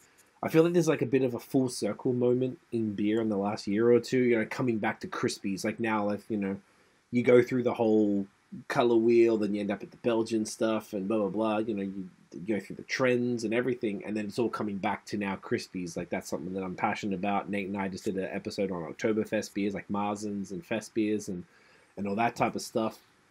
And I feel like brown ales are sort of in that category of things that I enjoyed like a lot back in the day. but don't really see nor get to drink very often. And when you get one that's fire like this one, like this is glorious. Like it tastes this to me. It's almost like if you didn't, if I didn't know it was an ale, I'd, I'd be, I'd swear on everything it was a lager. It's just so crisp and dry. It's um, it's fantastic. Oh, thanks a lot. Yeah, I think I don't know. Like I, I, most people I've talked to have been into craft beer for a while. Everybody's got the same kind of curve where like they they only drink macro beers and then they get into something like a cream ale or a lager or whatever and like oh this is really good. Then they'll try like an amber, like you said they'll try a brown. Then they'll get an IPA and like oh what like what is this? And then they'll get like a double IPA and a triple IPA and the hazy IPAs and like the the stouts and the bourbon barrel aged stouts. And after a while, they're just like that. I'm good. Like I, I tried it. I just want lagers again now. It's fine. I mean, that makes That's sense. it. It's very intense. It's, it's quite the journey. Um, particularly, one thing I do like on on this note though, when you're talking about that, the journey you described is all of our journey because that's what happened back then. I've heard from people, and it makes sense. If you're a noob to craft beer in this year, in 2022, whatever, you're gonna maybe you know try a lager, but you'll be trying haze, you'll be trying smoothie sours, you'll be trying pastry stouts. Like you'll kind of skip all of that like middle ground. You probably won't touch the Belgians. There's probably people who like line up for pastry stouts and smoothies and stuff that's never tried a Belgian beer, or that's never had an amber, a brown, a porter. Like they skipped or, or wheat or wit or all that shit. Like they've sort of skipped this sort of thing that there wasn't a way around that back in the day. Like if you were trying to explore beer, you just had to go through that, and it just there wasn't like a the closest thing to there was nothing like hype or exciting. The closest was like the Westvleteren, you know, Trappist stuff, may, maybe, or Heady Topper or whatever when it was like peaking back in like 2014, 15 type of thing. Like that was it. So I feel like the the people who are getting into beer now tend to skip this stuff, and they may not have you know be giving a brown ale or an amber or some of these other styles that really do have or cream ale, you know, have some a lot of value and a, and a great place in beer historically. They're not even really getting to try it to see how they feel about it. They're just going straight to Hype Town, you know. So it's a different time. Yeah, it, it's tough. I mean, it, it seems like there's you can kind of feel like, oh, how can you go right for pastry stouts and you, you can't like appreciate the basics and stuff like that. But on the same side of thing, it's like it's like criticizing people for getting a like an iPhone for their first phone. It's like, did you even use a rotary phone? Like you can't appreciate an iPhone. So it's I don't yeah, I don't know. It's Oh it's man, hard to that's that's an incredible comparison. That's exactly what it is. Okay, I get it. I no, get that's it. really good. That's really good. And like ultimately, I don't eh, they like that. That's a really good point because I don't think there's any one correct way to enjoy craft beer. Like Mm. whatever, uh, like whatever journey you uh, like you went on, that that- like that's great. It's like like, you know you, you you don't have to go through a rite of passage to uh, uh, like to enjoy craft beer. Whatever, however you came into it, whatever like like whatever style you want you like you wind up drinking first, and wherever that ends up landing you, that's good. Mm. Yeah, man. Yeah, I think I mean it's the same thing. Like just do do what you like, drink what you like, drink what you enjoy. It doesn't matter. Like my son is uh is nine. He, like he's into video games now and playing some of the Zelda games. Like, oh, you got to go back and try like the original NES like Zelda game. Like it's a classic. And you play for five minutes. It's like this game's hard and it sucks and I don't want to do it anymore. Like so, it's like, so it just makes you think like why like why do you need to go back and do that? Because it like I mean the world has moved on from that. There's Yeah, there's new styles. Maybe you can skip that and still appreciate the new stuff that comes out. So, hmm. absolutely. That's a really good point. It's funny you mentioned Zelda. I don't know where I heard it. It was on a podcast or something the other day, and they were like, "Have you tried to go back and play the old Nintendo or Super Nintendo games?" They go, "They're fucking hard." I and have, they yes. go, they go. The thing is, if you die, you go back to the beginning, and all of that work is done. But appa- I'm not a video game guy at all. But they go now with the games. If you die, you just oh respawn exactly where you are. And apparently, this is coming from the conversation about oh the kids or have got it easy, but they like they don't have that hardship that we had where it was hard to get good beer and like it's hard to play video games. It's like everything's like easy, but you can't criticize them for being born into a world where that's all they know. Like you're right. Why should they have it harder? And that it, like and, and that is a very like good example to bring up because old school like old school games are fucking savage with that. Like, like, like that's like because that's exactly like that's exactly what it is. It's the like you could spend hours going uh, like going through if you don't use any of the shortcuts all of the like all of the worlds of uh, like of super mario bros and whatnot and if you happen to run out of lives on world seven, you're fucked. And then uh, like, and then your only thing to do is to start over again from the beginning. Like that is brutal. We, I mean, that's it. Like 20 years ago, you want a good craft beer, you might have to drive like six hours across Ontario to find it. Like, are people yeah. spoiled these days because they can go in the LCBO and get like a hundred of them? Yeah, maybe, but it's, it's, great. So who cares? Or you like, yeah. or you know, I like I can hop online and uh, like and order uh, like a case of Anderson Craft Ales, right? Like, and it'll come right to my front door like like three or four days later. Like it, it's it, like like it's that easy now. it, it's Where true. like whereas like whereas the first time I went to like to Anderson in 2017, all I could do was like drive like drive like eight hours out to London to uh, like to have the visit that first time. These kids don't know how the, how good they have it these days. Modern day cheat codes, right? I, I get it. I definitely uh, the old man in me feels like there's some part of it that I think there's a there's value in going through the process, like understanding that things were like how do I say it? Because I, I feel like this about everything in life, like even music. Like I grew up in Australia as a hip hop fan. I had to pay forty dollars for import CDs that weren't released in the com- country, or I have to pay three, four x the the cover price on the magazine that was three months late because that's all we could get our hands on. But now everything's online, everything's on Spotify and Apple Music immediately. So it was like we had to not suffer, but like anytime you got anything, it was a it was a an event. If I got that CD and I spent my forty hard dollars when I was earning five dollars an hour and whatever, like that's that's something significant, you know. Trying to find that craft beer that like you had to drive across or whatever. You know, I lived in Quebec for ten years. I just moved back to Ontario you still can't get mail order beer in Quebec. You still can't do it. Yeah. So like coming to Ontario, I've just done it for the fuck of it because I'm like I just love the concept that you can do it here. It's the coolest shit in the world to me to be able to do that. But like, I think there's an. It's not even about the suffering because obviously if you can avoid new generations from having to deal with any hardships, I'm well. That's what the point of progress is. Particularly the greatest example, like you said before, Gavin, was like the iPhone versus a Nokia flip phone or whatever. Like you know, why should you do the three C? Next button, you know, hit it three Go times. back to T nine. yeah, like that. That is it's funny, but like, why should anybody do that? I guess there is value in understanding the history of something, knowing that hey man, like beer was just macro lagers, but it, there was also these other things as opposed to going straight to the hype stuff, just for context to be like, oh yeah, I know this exists. This is cool. I know what these things are. Otherwise, you're going to be drinking all this hype stuff. You could ask somebody in a line, wait, you know, camping out to, to buy a hype release stuff. And what's a brown ale? I don't know. Never heard of it.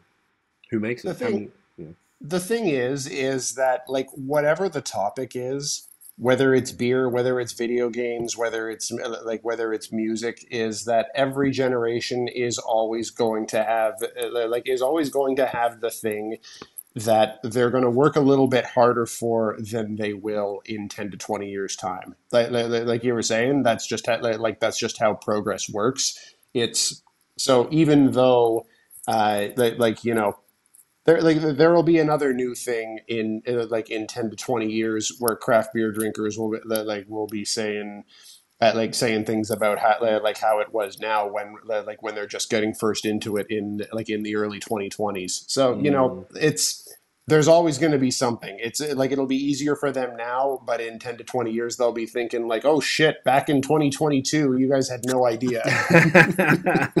I think a lot of it too is that, I mean, like, we're beer nerds. Like, we're into mm. beer. We know a lot about beer. And, like, you know what, like, what goes into a good brown ale and what makes a brown ale great. And, like, if I, I mean, for an example, if I go to an art museum, and I see a picture, it's like, that's a pretty good picture of flowers. And the art nerd might be like, "Are you like, are you insane? Look at the brush strokes, and you know like the, the like." Sorry, so I don't know. I don't know. No, you're right, man. It's it's sometimes I don't know. I don't know about you blokes. I, I imagine we're all probably similar ages, but I'm finding as I'm getting older, you sort of think about these things. Whereas when you're in your 20s or whatever, you just like it's not even a thing, and it's like now it's more. I more think of it from a perspective of what are people missing? Like, what are you missing out by not understanding the history? For example, my girlfriend's cousin works for my company. He's 24. Love him. He is a weird Gen Zer in the good way because we have another podcast with my brother and him that we talk about rap music and all that type of stuff. So, so part of the podcast, we're like, all right, we're going to give you two albums from the 90s to listen to for next week, which was his idea. So we give him like maybe one R and B album, one hip hop album. Yo, I've seen him play like old Wu Tang stuff from the like 1995, and no, he's born in '98 when I finished high school, which is hilarious because I could be his father. um, he is like I, I see he's I, he uses Apple Music, so he's like playing it, and he knows all the words to "GZA and Liquid Swords" and Raekwon only built for Cuban Linx. I'm like, how like why does this child to me know all of these things from the 90s because he's starting to understand the context of the music he, but he loves the stuff now too he loves future and drake and all that stuff but he understands where it came from he knows the architects of the the genre that he's into right and i'm like i've seen him look back at that and understand it and he was like on the podcast, he's like, man, like the new music today, it's got nothing on the '90s. I'm like, where the old farts? Like, why are you saying that? and I thought that was really interesting for him to say that. And I've always been a not about paying your dues as much as just understanding the history of something. Like it's like people into rock music today. If you haven't gone and listened to I don't know Zeppelin and Rolling Stones or whatever, and understanding where that where it came from, it's hard to really appreciate something. And that's sort of how I feel about any given topic. Even play Zelda, be pissed off, and then go play Call of Duty or whatever. Like, see where it came from. I don't know. That's just something that I I don't think it's essential, but I think it's helpful. I don't know. For sure. Off topic. I gotta say, it's kind of related. I a part, a little part of me dies every time I hear a '90s song on a classic rock station. Look, yeah. the, the, the, there are there are some awkward decades here. yeah. I never thought about that. Like those oldies stations, and they start playing the shit we grew up with on that. And you're like, oh, oh we old? I'm not old. Yeah. You're old. You no, guys are old. The children that are wrong. Yeah. Is that the episode name? It's the children that are wrong. oh, no, no more children. But either way, the children need more brown ales. Is really what the conclusion we're coming to. Here. Absolutely. Just, uh, it's a fascinating conversation, and it's it's cool to kind of revisit something like this and just sort of like I don't know, fuck around with this conversation, but also like enjoy the beer whilst I don't know. It's sick. It's something about it that's like it's really for me. I don't know about either of you. Uh, maybe not you, Gavin, because you have the year rounder there, so you're drinking this regularly. But Nate, like, are you drinking brown ales? at, at, any sort of regularity where it's like not like oh I'm having a brown ale like this you know very very very seldom unless like I, unless I'm making a really concerted effort to seek one out it doesn't uh, like it doesn't come up in my rotation very often but uh, like but on a case like this I'm really really glad when it does yeah man the last one I could think of was the Sankiem one I can't think of another one that's probably the last one for me too which is which is great. And it's just more like I don't know. All of this is kind of coming up because, excuse me, like the appreciation of it. Really, um, yeah. I just, I just think it's cool. And I wasn't. I, a, I, I, feel like, like, like Gavin. I feel like you would vibe really well with the guys at uh, like at Sankiem Barrel. They like their approach to styles. I think would be like would be very similar to yours um, like and the way like the way they go about uh, like classic lagers and classic Belgian styles. I, I like I feel like you'd really get along with them well. yeah, yeah, it's a good point. I really I, I, see that too actually, which is cool. Which is something that you know Nate's in Ottawa. I was I was just in Montreal and, and, and out here, so like seeing the the um, I guess similarities of some of the breweries that maybe just don't know each other. It's just because we sort of participate in both provinces. Like a lot, of, it's it's hard in the beer world because you just doing your thing. um, you know, running your damn business. You don't really have time a lot of a, a lot of time to sort of be, you know, hey, who can you know what's going on, meeting people and all that type of stuff. Particularly between the provinces, because there's not many things that are sort of industry things that are set up to sort of facilitate that. Like there's the o- OCB here, the AMBQ out there, but what's the in between? You know. Yeah, they just make it so hard too to work with people from other provinces. Like if we did go do a collab in Quebec or whatever, it's like sweet, let's get a keg to sell at our brew pub. It's like no, can't do that. It's, You're right. Yeah. The only way around that is to do the double collab. Like same Yeah. beer at both sides, or yeah, slightly different beer at both sides as a tweak on the other thing or whatever, which is, uh, tends to be the way that people get around it these days. Mhm. Um, oh, I had a really good point about that. I was just going to mention. Um, fuck, I forgot. But I Or you yeah, can do, or like, or, or, or you can do like blood, like Blood Brothers and uh, L'Espace Public did that one time, where it's kind of like, is this legal? I'm not quite sure, but Yeah, just bring the keg and see what happens. I feel like if you bring a keg, by the time anyone finds out about it, the keg is gone. Like, ah, yeah, a keg. Yeah, and you usually get a couple warnings before you get in trouble too. there you so- go. Not that we would encourage any behavior like that because we are no, no, very no, much by not, the of laws. course not. we respect the beer laws that are what hundred plus years old. Yeah, Because very in the- logical, reasonable beer laws. The nineteen exactly the nineteen twenties, the prohibition people, they knew how to make a beer law. God damn it, we're gonna follow that. I feel like this might be a myth, but I feel like someone told me that in the, the beer laws for like the federal excise, it says somewhere that you have to have a post for the excise officer to hitch their horse to outside your brewery. oh my god, I hope that's true. Oh, that may be a myth, but I, I I- have heard that before. Oh my god, I hope that's true. I would be mind blown if it's not true. I, I really feel like that's the point of like you know every single thing in society has kind of been well okay that's not true. A lot of things that we're that we are how we operate are based off laws from back then. Alcohol laws being the most obvious example of this is how it goes. And then nobody and only took the pandemic for Ontario to be like um cool. So now there's independent bottle shops, and now like restaurants, bars, coffee shops, or whatever can sell their own alcohol. And then in Quebec, it was like, oh, you're a brewery that you know brews but doesn't package on premise. Cool, you can sell your shit there anyway out of the store. Because you go to any brewery in Quebec, for the most part, unless they have like the they just a tap room, they don't serve food. You couldn't buy the the the products there, which was always ridiculous to me because you go to Dieu du Ciel in Montreal, and then they would like oh yeah, cool. You have a bunch of beers, but you got to go see that depanneur. Like, go catch them before they close, because then you can get our stuff there. yeah, Like that's that, fucking yeah. arbitrary. That's wild. It's And the dumbest. in uh, New Brunswick, with so we had the brewery, and you were allowed to have a growler filling station on site, Mhm. uh, one cold room. But for the beer, we had to take a keg from one side of the cold room and Oh, then like sell it to ANBL and then purchase it back and then move it to the other side of the cold room to like fill growlers with. Oh come on. Dude, for real? yeah, oh yeah, yeah, it's yeah, it's it's wild. Ah, Yeah, we have it bad here, but some of the maritime provinces are even even more illogical. My That's wild. goodness.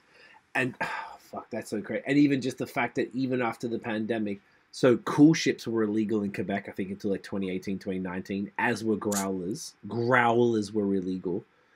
I thought that maybe a lot of common sense would start happening because they, you know, had these new things in the last two years. They're like, well, businesses can't operate as normal, but how about we do this and this and this? I was like, all right, we're looking good.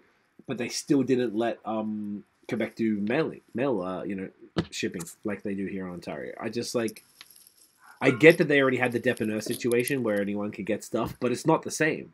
Like you want to be able to order from across the province and stuff. It's just Yeah. obscene. And then even like, do you know what I heard? It's it's legal federally for, for example, an Ontario brewery to sell beer to a consumer in BC and ship it there. But what hasn't been established is the taxing um, Yeah. between because like Ontario has to have tax agreements with every single province, and every province has to repeat that. So that's tens and tens of probably over a hundred different tax agreements. So because they haven't gone that far, just the fact that it's legal isn't enough to Yeah. make it happen. Which and that's only and, and that's only fairly recently even uh, like that's Mm. in the last like three or four years that that federal regulation was dropped but like you say that wasn't really the linchpin on this it's all of the it's all of the interprovincial um, the, like agreements that are like that are preventing it that from uh, like from kind of coming full force which is, I mean, I guess it's complicated, and I absolutely understand. And al- I just feel like alcohol is such an over. They overly complicate the industry once again from hundred years ago, and they just sort of like whilst they put a stranglehold on businesses. Period over the last couple of years. Um, they're making it. I don't know, just things that like you know what, you know, whatever shit happened, things were rough. Just make it easier for everyone to make a living and to, and to keep employees on and to keep the do- the lights on, the doors open. Like I, I don't understand why. I feel like alcohol cops it almost harder than anybody else. I would, I would Yeah, I mean, it's really interesting to see that. I mean, because cannabis is like a really new say, industry here. yes, Like everywhere. how open and accessible that is because they're like developing it all from scratch and it's not based on like a 150 year old like grandfathered in legislation about horse hitches and things like that. Dude, that's such a good point. I was thinking that as you said it. In Quebec, they're only in the government stores, but in Ontario, obviously, they're everywhere. And it started here in Hamilton, I believe. That was someone told me that this is where the the, the pilot city in Ontario for the cannabis store. That's why there's 800 trillion of them here. And you're right, they're they're everywhere. I mean, the the rules are still dumb that you can't have any, you can't see through the windows and whatever, whatever. But there's so much so much less red tape for something so new compared to alcohol, which is prevalent and very easy to allow businesses to sort of do business um, easier and, and simpler and, and stuff. And just like, I don't know, it's it's it's funny, and I absolutely empathize with any you know with the breweries sort of uh, you know yeah situation trying to sort of uh, make make things uh, operate. It's trash. But you know what's not trash? Anderson's IPA that we're about to craft. yep let's fucking do nice it segue. Look at that. You like that? I did that for you, Gavin. I did that for you, mate. Look at this. It's a West Coast vibe out here. We got this 6.5% IPA. Glorious classic Anderson gem right here. What are the uh the hops in this one, dude? So this one is mostly Idaho 7. It also has uh, Cascade, Centennial, Columbus, and Cashmere. Woo! Uh, Nate and I, our favorite hop is Idaho Seven. Oh yeah, I love it. It's like I mean, it's got a it good punch, it has good oil Oof. content, but it's not. It's not. I mean, it's different enough. It has a lot of more melon, peach notes, and it's not just all citrus like a lot of American hops are. So I love it. yes, I, I agree, man. It's a uh, a super interesting one, and it's not very common. I still feel like uh, Idaho Seven isn't the most uh, common hop out there. When you do grab it, it's like, ooh, it's fire, but it's still far Yeah. between. Nate, do Yeah, I you know don't what know hops? what it is. Yeah, go. I'm sorry. If it- Is it like a branding issue or something like that? It doesn't sound as flashy as other hops, but it like it's a it's a solid hop. Idaho's not a cool state. You know what's Good. what what People hops in think this? of potatoes or Yeah. something. Hey, I love potatoes. Who doesn't like fries? Nate, do you know what hops in this? The number one hop? uh, is it idaho 7 Yeah, fucking damn right it is, buddy. absolutely there we go I was just telling Gavin it's our fave. This smells uh, glorious. oh yeah Um, as soon as you've poured that, I'm gonna put this in my face hole, mate. So I like so I want to tell a story, um, if I may, about my first taste of this when uh, when I first visited the brewery back in 2017. Can we sip in the meantime? Woof! Oh my Cheers. goodness! Cheers, boys. Mm. Cheers. Oh, that is gorgeous. Oh my god! Yeah, yeah, yeah, man. the aroma on this is just spectacular. So, the, like so, this beer when I first tasted it uh, back in 2017 was the first beer that like, like where, where I experienced um, dank in a beer uh, like, in an IPA. It was uh, like I, I never quite really had, uh, like had ever experienced that before, and uh, like when I first tried this and like the first take a whiff of it, I'm like, God damn, that smells like weed. like, and I and I had never like it really took me by surprise because I had never um, uh, like because I had never experienced that before, and, and like and kind of tastes like weed smells if that makes any sense.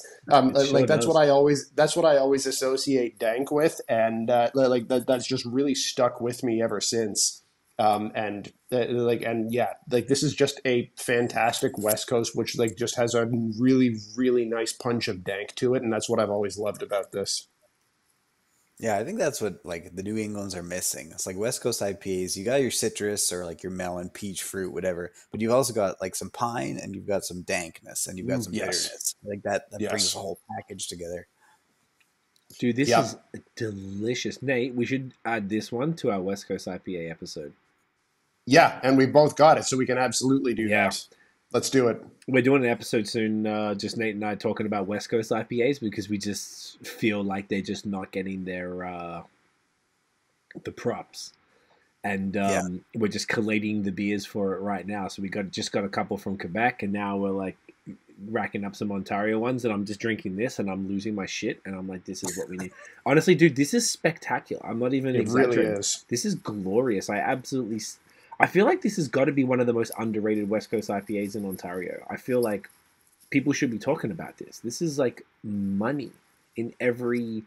Like it's the most. It's balanced. It's smooth. It's it's just sweet enough. Like Nate said, it's dank.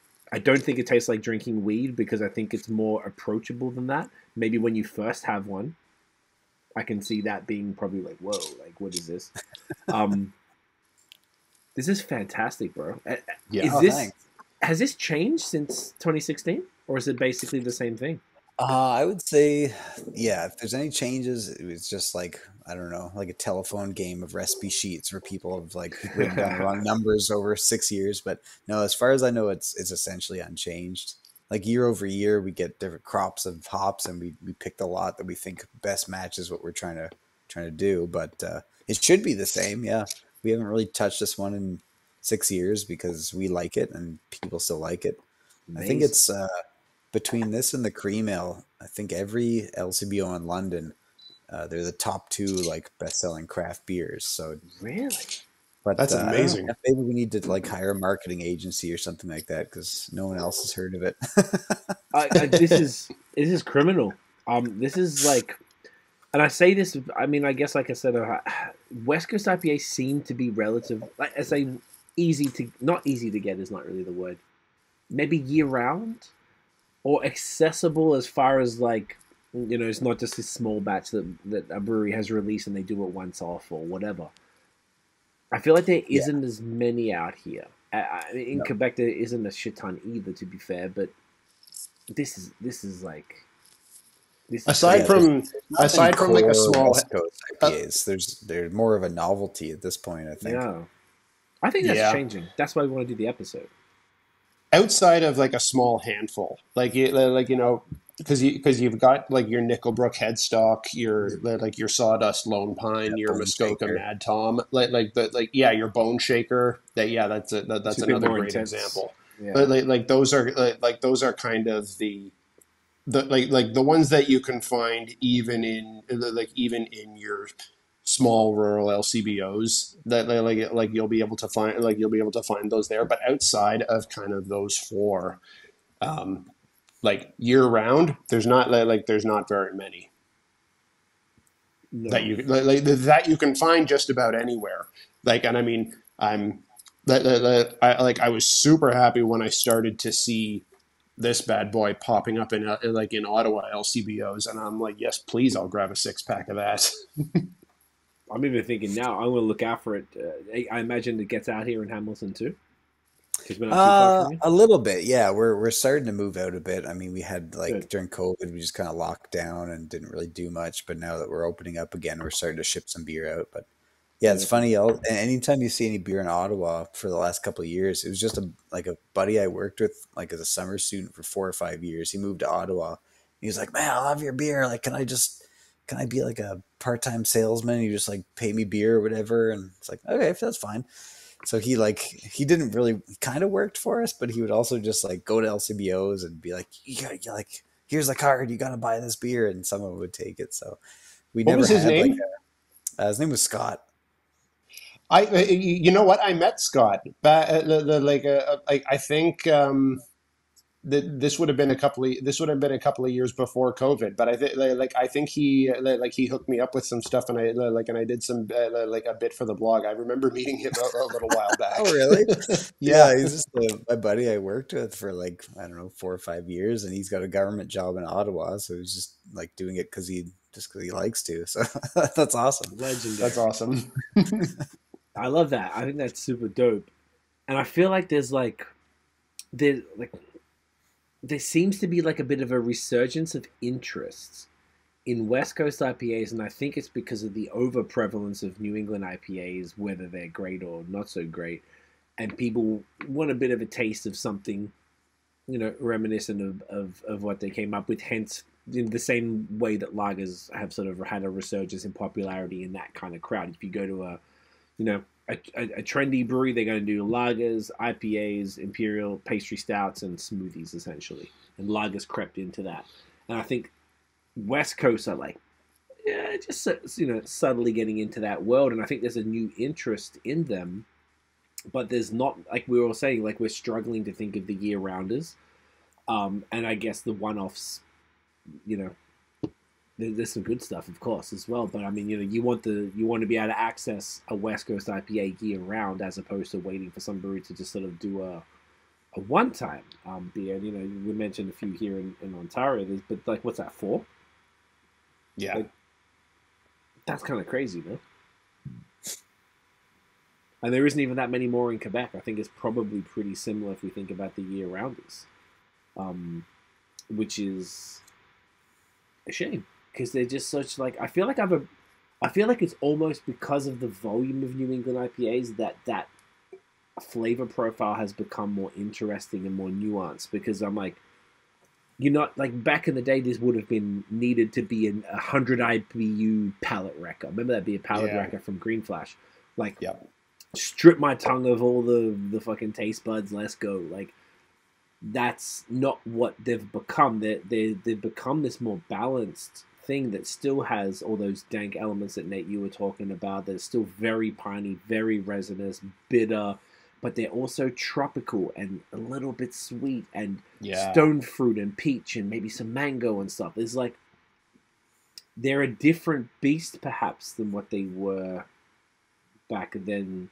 Maybe not crazy different, but they're this different, like, this different kind of approach to an IPA that is that seems to be valued by a lot of people. Yeah, I think I mean what you talk about the bitterness I think is is spot on. Like you don't really want a palate wrecker, but like I had the uh, the privilege of uh, speaking with the head brewer of Pilsner Urquell this summer, and and Ooh. he was saying what he thinks is the the perfect amount of bitterness is where you take a beer, you get some malty sweetness, you get some hop character, you get some balance, and then about 10 seconds later the bitterness starts to dry out your tongue and then you automatically like go for another sip to kind of balance that out so i think that's what west coast ipas have that, the new england ones don't is they don't have that bitterness Yeah. that, that like brings it back Mm. Yeah. yeah, that's a really good point. hmm and it's and, and maybe that's why they're becoming popular again because people were like, okay, well, you know, I can chase new haze all I like, but what about you know something different? Give me something a little little. Let me switch it up a bit. And it sort of it seems to have come into that world, I guess, is what I'm kind of saying with that. And and there's a there's a that coupled with the appreciation for something like a well crafted lager, I think is sort of brought back. I don't know. I feel like for me, and I imagine you guys are sort of like maybe Gavin. It sounds like you've always been kind of on this stuff, but I feel like I went off a lot of things, and have really been around the kind of you know craft beer kind of wheel or whatever you want to call it, and then kind of come back to the beginning where now I appreciate everything basically. Mhm. For the most part, I went off barley wines for a while, and now I really appreciate barley wines again. I get it; they're not this like messy caramel thing. They're just my friend was Yeah. like, No, "No, Noah and I, fi- Noah and I finally broke you and got like and got you back on the train. You guys did, and I love it. They're like, you know what? Why do you love an imperial stout? I'm like, oh, because it's creamy, chocolatey, like bitter coffee. I'm like, yeah, cool. So a barley wine's that, but just like caramel and nutty. I'm like, ah, all right. And now I re-love ba- barley wines again. and I feel like there's this like resurgence of love or appreciation for these different um, styles that maybe might have been ignored for a while because I was chasing something that I couldn't get. Because there was a while from between 2016 and 2018 maybe where like it was wasn't the easiest to get a, a shit ton of haze in Canada that was quality. Like you had to go to the states to get a lot of it which is what I was really after. Not many breweries were doing it consistently and really trying to sort of you know put stuff out. So I feel like after because it was hard mm. to get it made it more exciting to find it to oh, to to try and chase it and then now it's kind of come back to like all right well it's pretty prevalent now everywhere does it pretty well what what else does your palate want? And then you want to like switch it back up, and when you go, kind of back to the beginning. Oh yeah, I, I mean the I feel like the more intense and stronger a beer is, like the easier it is to get burnt out on one. It's just like the, it's like the classic like sitcom dads. Like if you see your son smoking a cigarette, it's like you smoked the whole pack, and they're like, I never want to smoke again. like if you have like a hundred juicy IPAs in a row, at some point you're like, I never want a juicy IPA again. I want something different now. Yep. Yep. Yeah and, and that's sort of where it's at. And I feel like West Coast are really. Um, I feel like also something cool about it. It's like it's a slow grind. It's not like West Coast are popping, everyone's chasing West Coast. It's like it's like yeah, real slow. Like I did a trade with a dude in Montreal the other day. He wanted some stuff from here, and he had some stuff he got from the states. He's like, "Oh, are you into West Coast? Do you mind if I get?" I'm like, "Yeah, I'm fucking into West Coast. Send me that shit." And like, but he had to ask me. Yeah. And I just thought that was interesting that out of all the beers he sent me, it was one West Coast, and it was fantastic from all these California beer. And It was fantastic. I was very happy to get it, but it's still in that stage where you're like, "Oh, are you are you cool with that?" I'm like, "No, bro, just give me that haze." Like maybe that's what he expected to hear. And I gave it. Yeah. I got him barley wines, like double barrel aged barley wines. Yeah. But he was trading. Well, I mean, it'll be interesting to see if like if uh, West Coast IPAs are making a resurgence, or if in five years I'll just be back on the podcast and we can substitute the whole Brown segment for the West Coast IPA segment.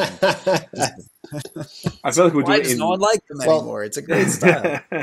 well, Gavin, I was tell uh, like, like, I was telling uh, Cee just a, uh, like just a few days ago because we were talking about this uh, like, like, this West Coast episode that we're like that we're gonna do uh, like fairly soon, and I was saying that like West Coast IPAs are the ones that I keep in my fridge when I want like a no pressure beer, like one that I'm not taking photos of, one that I'm not doing content for. And like, like if I just want a beer just to enjoy, like that's one where I'll just like that I'll just pull out a West Coast for.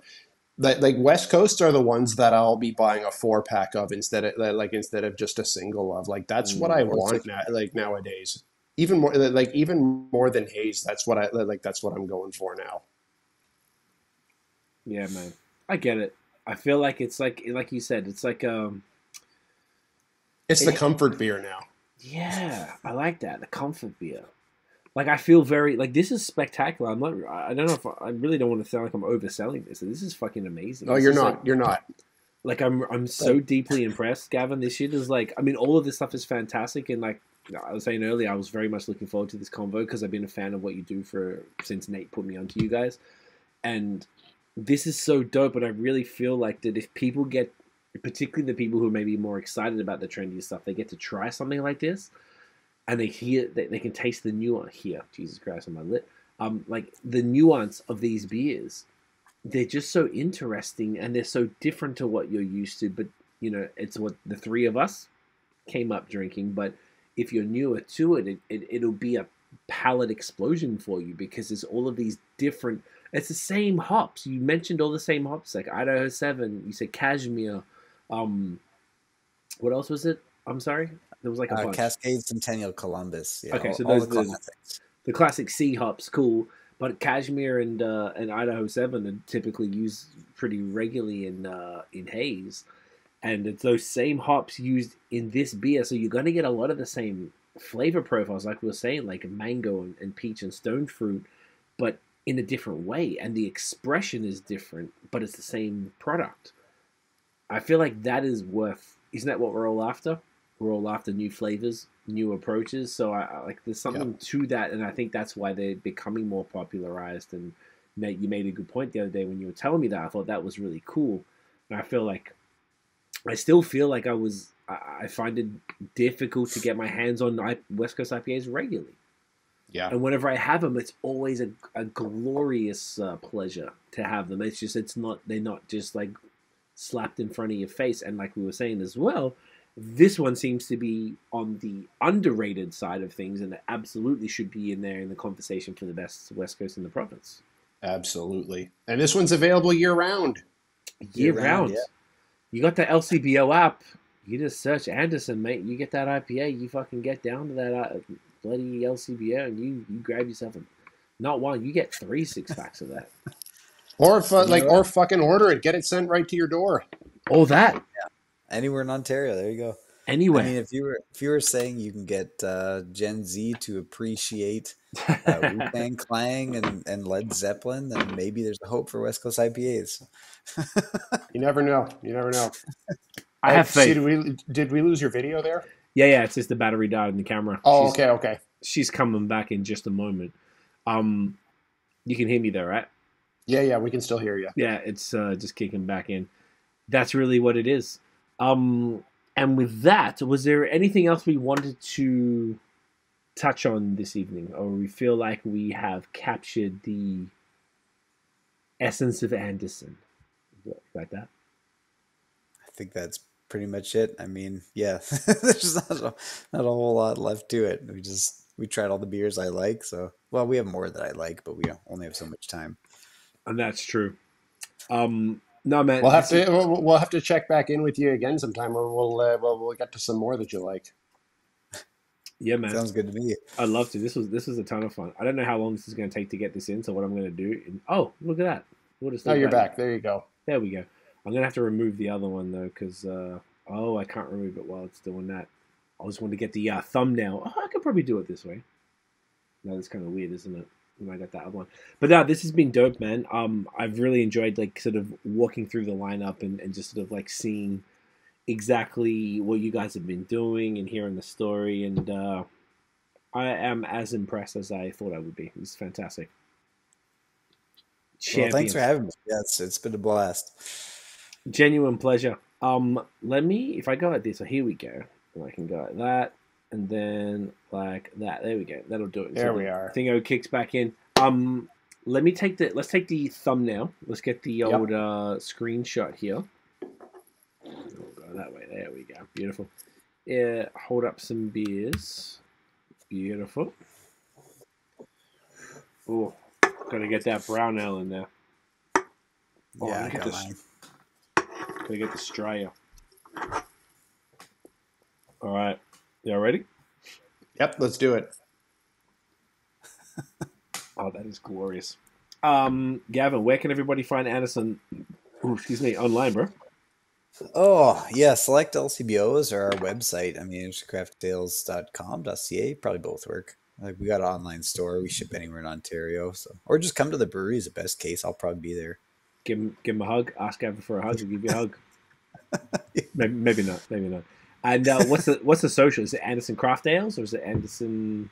Yeah, I think so. Yeah, I don't know. I don't have any social media, but I'm pretty sure it's Anderson Craft Ales. Twitter's Anderson C Ales, but I think Twitter's kind of a dumpster fire right now, anyways.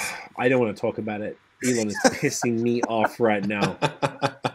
It's Anderson Craft Ales on Instagram, but yes, Elon Yeah, is driving yeah, yeah, there we go. fucking uh, Nathaniel, where can everyone find you online, my guy? Uh, everywhere it's at Nathan Does Beer, and you can like, and you can find me occasionally here co-hosting BAOS podcast. Love to see it. Um, guys, stick around uh, once we wrap up. As we'll say goodbye off air. But uh, Gavin, thank you so much for your time, man. This is a, a pleasure and an honor to chat with you, bro. Like once again, we've both been big fans for for a long time. So really cool to get the story, to hang out, shoot the shit. This is uh, this was a lot of fun. Really Sure, yeah, appreciate you. anytime. Thanks for having me. Yeah, Like- man. Thanks so much for being here. Like Nate said, let's do it. Let's do it again. We'll keep in touch, and we'll, we'll do it again next year. It'd be great. Uh, you know, keep in touch, see what's going on, drink some brown ale. You know the vibes. Um, everybody, thank you so much for watching and listening. If you enjoyed the episode, smash the thumbs up, hit subscribe below, hit the notification bell. Nathaniel, Ding. so you know when the new new drops. Follow us everywhere at BAOS Podcast. And check out the long form audio. We drop every Wednesday, 8 p.m. Eastern. Now it is pitch black at 5 p.m. You know the vibes. Um, we will see you guys in the next episode. Cheers. Cheers.